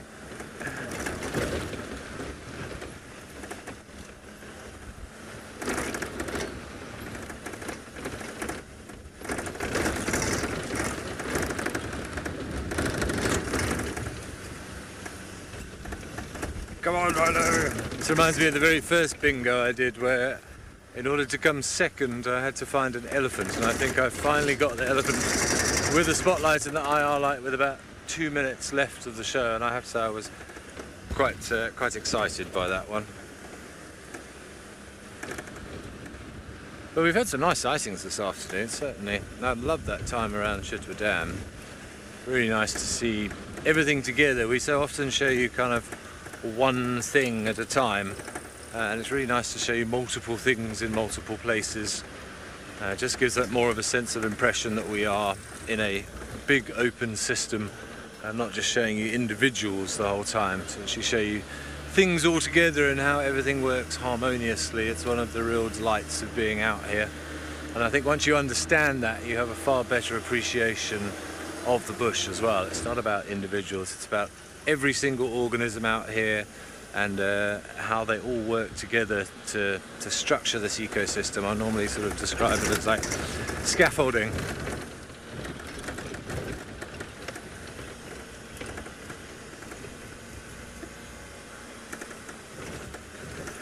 Hello, hello, how's it? Good, good. Uh, I love lions, the rarest animal to see in the Sabi Sands. Whoa.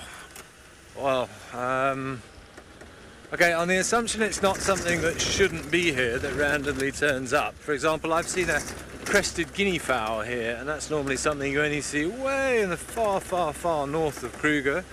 Um, but that was one that I saw here. But I think probably we're going to go back to the old faithful, the old classic. It's the, the pangolin or the aardvark.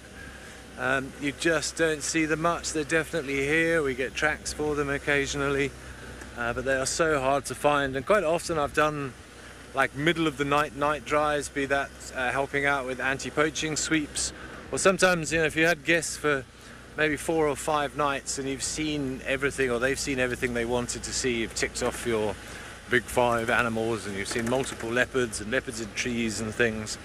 Um, sometimes it's nice to just mix it up a little bit, skip the afternoon drive, have an early dinner and go out uh, much, much later. Of course, we can't do that now because of the anti-poaching uh, problems, uh, which is, you know, it's a, it's a real shame, but a lot of places have protocols that say, you know, nobody is to drive around, for example, after 10 p.m. And then the anti-poaching units know that anybody driving around after that time should not be there. It makes their life a lot easier.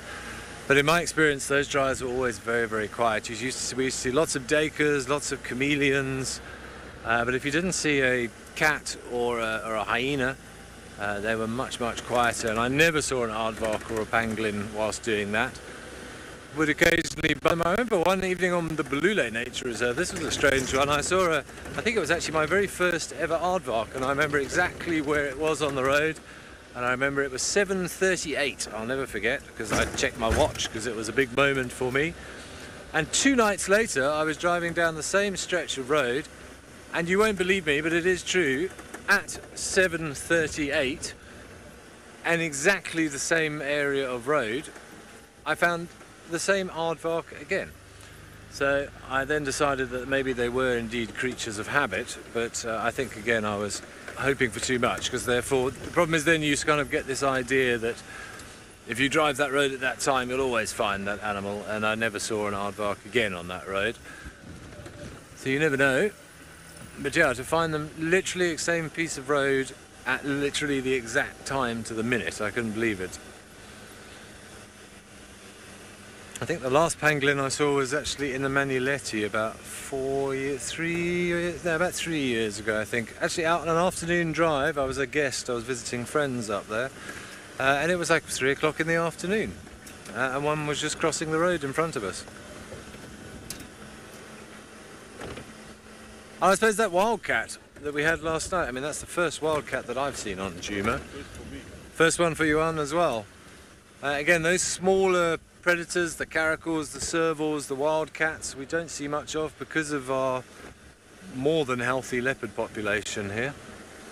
Uh, there isn't much room for those smaller uh, individuals and they are killed. I've seen a leopard with a serval kill in a tree before. That was quite a disturbing sighting. It was amazing to see, but you know, really did feel for the serval because it's not something you see every day.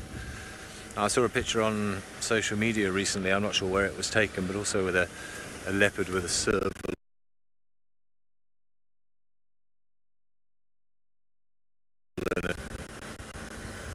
Uh, but then I'm struggling to think of anything else that would be genuinely really rare.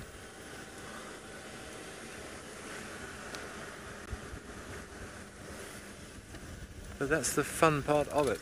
I say it day in, day out, but you just never know. It's why I love to do this job. It's why I love to come and drive around in the bush um, and just see whatever you see. Some days you see lots, other days you see nothing. And other days you think you're seeing nothing and then suddenly you see lots. You just never know what's going to happen. For example, there might be a rhino around this next corner. Mm, no, there isn't. But we're going to keep trying.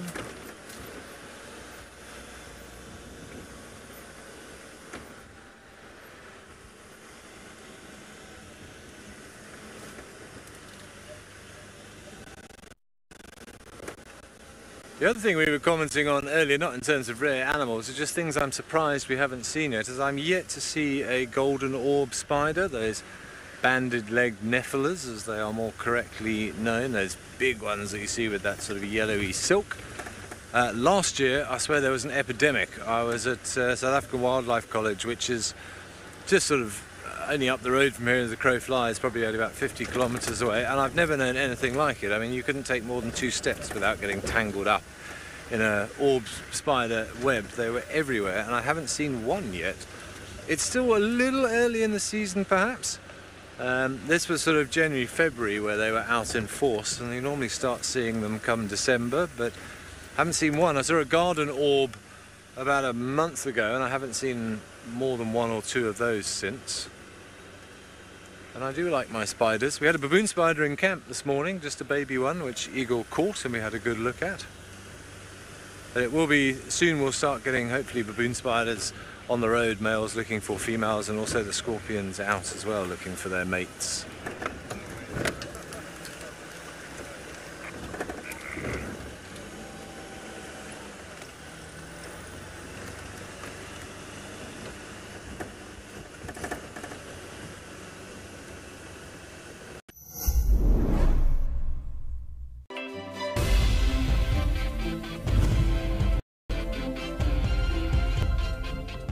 Stop there, please? Because now we have got some leopards making love.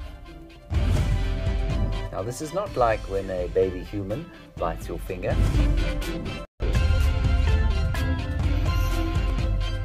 Let's push play on this episode of The Wild Show.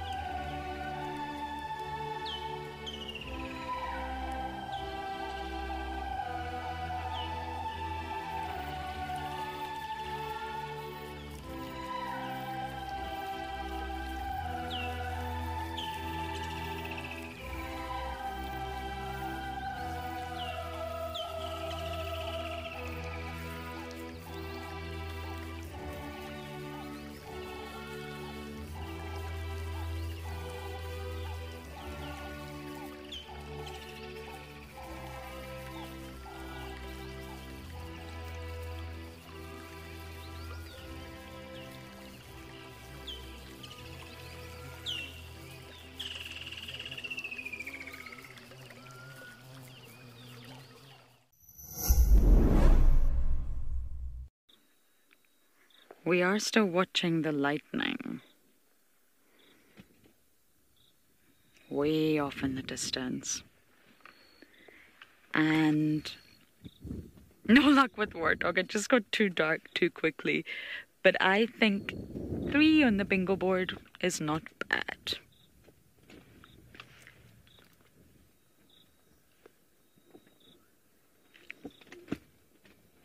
Whoa, look at that flash.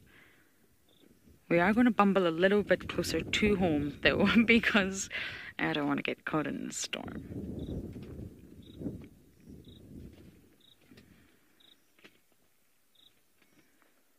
One day I'll win the bingo.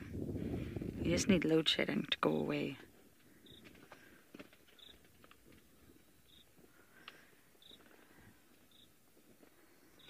Sky is on fire.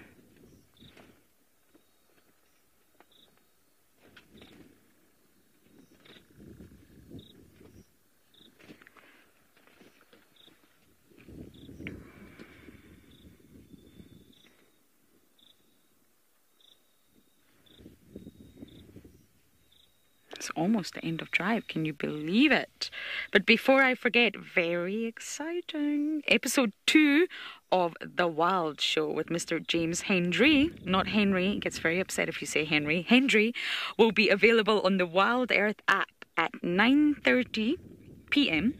Eastern Time, which is tonight for all of you American viewers and this is 7:30 p.m. Central African time, which is tomorrow evening. Monday. Yes, Monday is tomorrow for all our South African and UK viewers. So please don't miss it. James was my mentor, my boss. he taught me almost everything about the bush, and those are the times that I miss dearly. It will I assume be absolutely hilarious if I know James. So please do tune in, tune in once again 9:30 p.m. Eastern Time tonight for the American viewers and 7:30 p.m. Central African Time tomorrow for South African and UK viewers.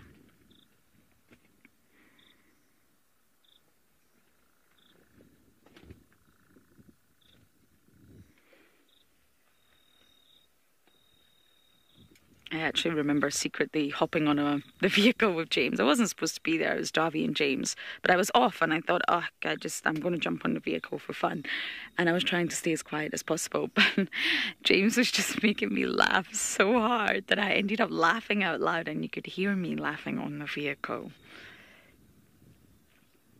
So he had to apologize for my laughter, but it's actually his fault, really.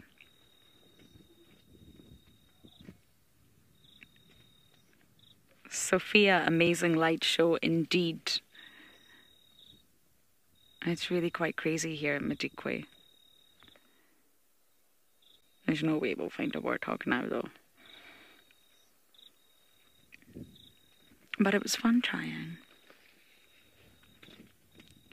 I wonder what tomorrow will bring. Very often I've noticed here really thunders and the rain pours all through the night and it clears up by morning quite quickly. And that's very much what I'm hoping for. You can hear the crickets starting already.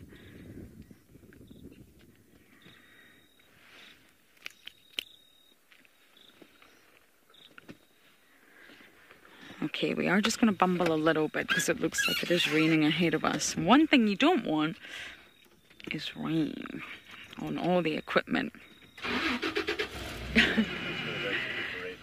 we are going to go into infrared or you'll never see me.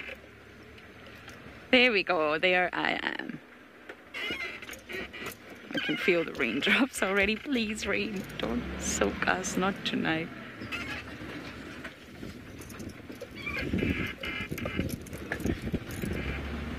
Have any of you seen Austin Powers where he tries to do a three point turn in that vehicle in a very narrow space? Well, that's what I feel like right now. There we go. That only took four turns and a stall. Don't forget the stall. There we go.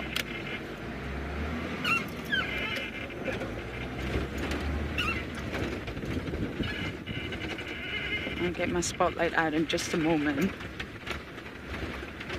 driving home in Madikwe, you see a lot. I would say you see a lot more nocturnal animals than you would do, or than I used to see in Djuma. When I was here with my parents, we saw civet, African wildcat, white-tailed mongoose, chameleon, although chameleons aren't nocturnal. I just need to reach for the spotlight. Okay, as I do find my spotlight, we're going to send you guys over to Ben on his Bumble.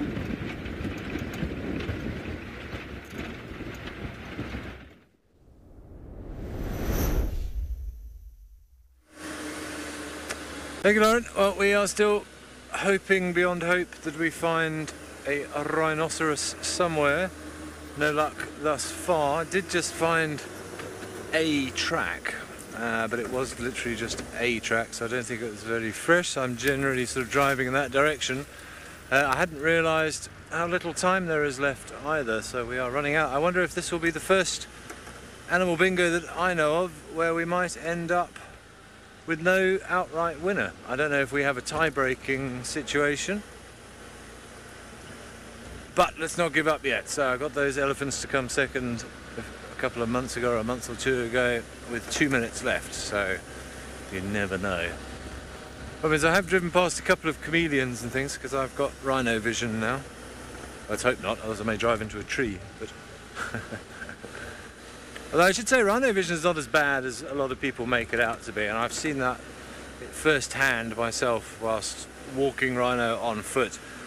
As long as you're moving, uh, I've been picked up by rhino from well over 100 metres away just from our movement. You may not be able to discern detail, but don't assume that a rhino can't see you. Your biggest friend if you're going to try and get close to rhino is the wind.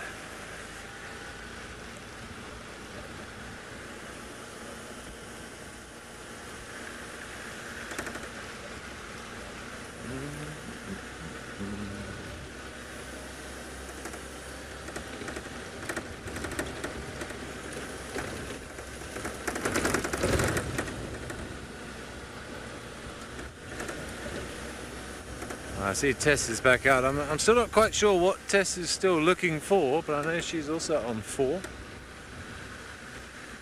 I think it might be a giraffe, which worries me slightly. I'd rather have the giraffe than the rhino.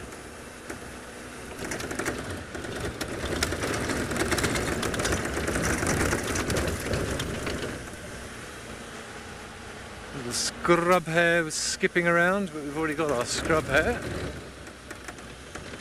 Oh, it's nice and clear though, that makes me happy. Oh, sorry, it's very bumpy at the moment. These corrugations can get quite nasty at times. Are you still there, Yuan? We didn't shake you off there? there?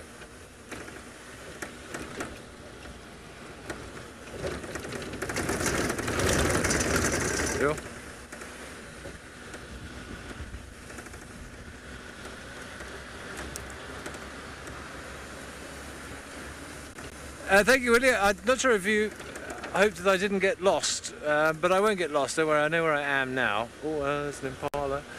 Uh, and yes, still looking for this rhino. You never know. I'm not even sure which road is this. I'm not even 100% sure. Let's check it. Oh, I see where we are. Okay. Uh, no, I think this is the bottom end of Zoe's, huh? But that's fine. Then we can check this block. Come on, runners.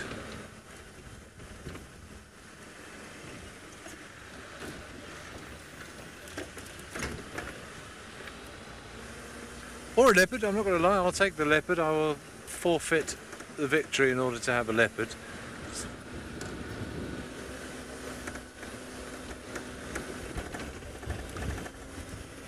Come on.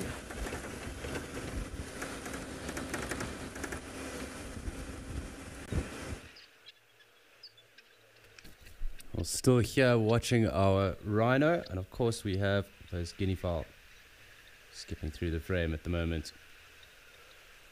They do move at quite a considerable pace when they do decide to run off. And this rhino really giving its horn a proper shine. Basically a French polish for black rhino this evening. But the wind is starting to pick up. It is making the camera bounce a little bit, so let's just zoom back out. Quite a cool scene with those giraffe and the rhino, and of course the sun setting.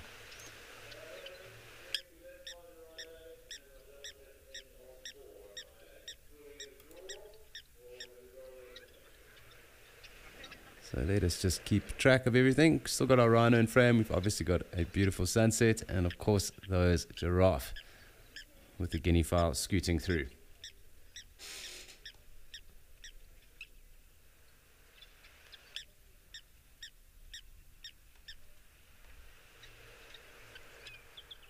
Just watching to see what happens here, but a fantastic end to a day here in Okaukuejo. No complaints at all. A fantastic day ahead. It looks like some rain off in the distance. How that affects us tomorrow remains to be seen.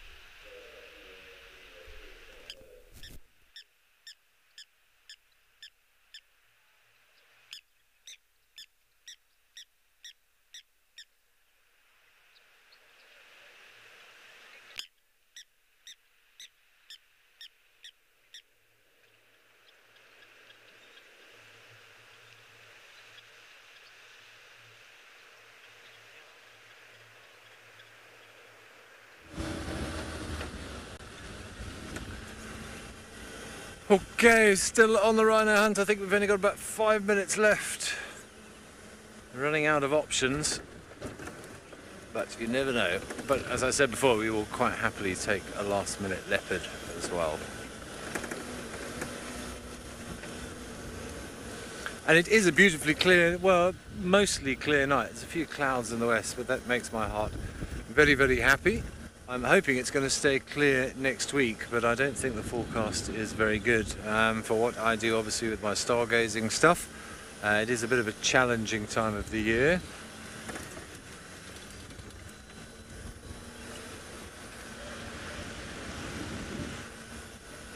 It's just uh, I had a lovely week actually. I was down uh, and I did an evening, a stargazing evening on Wednesday night, and we were blessed with clear skies again on Wednesday night for 80 children from one of the local high schools. And I have to say that was good fun, but yeah, I made the mistake of inviting any questions uh, at the beginning of the little presentation I was doing before I was showing people constellations, and basically ended up answering questions for the next hour and a half, uh, which was very, very cool to see the younger generation have so many questions. I think particularly with kids, with what I do, they're all space stuff and star stuff is of huge interests.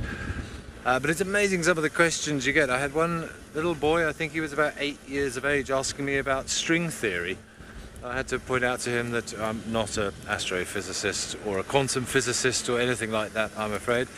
Uh, but there were some brilliant questions coming up, and I have to say they really enjoyed the evening and embraced it, which made me very, very happy.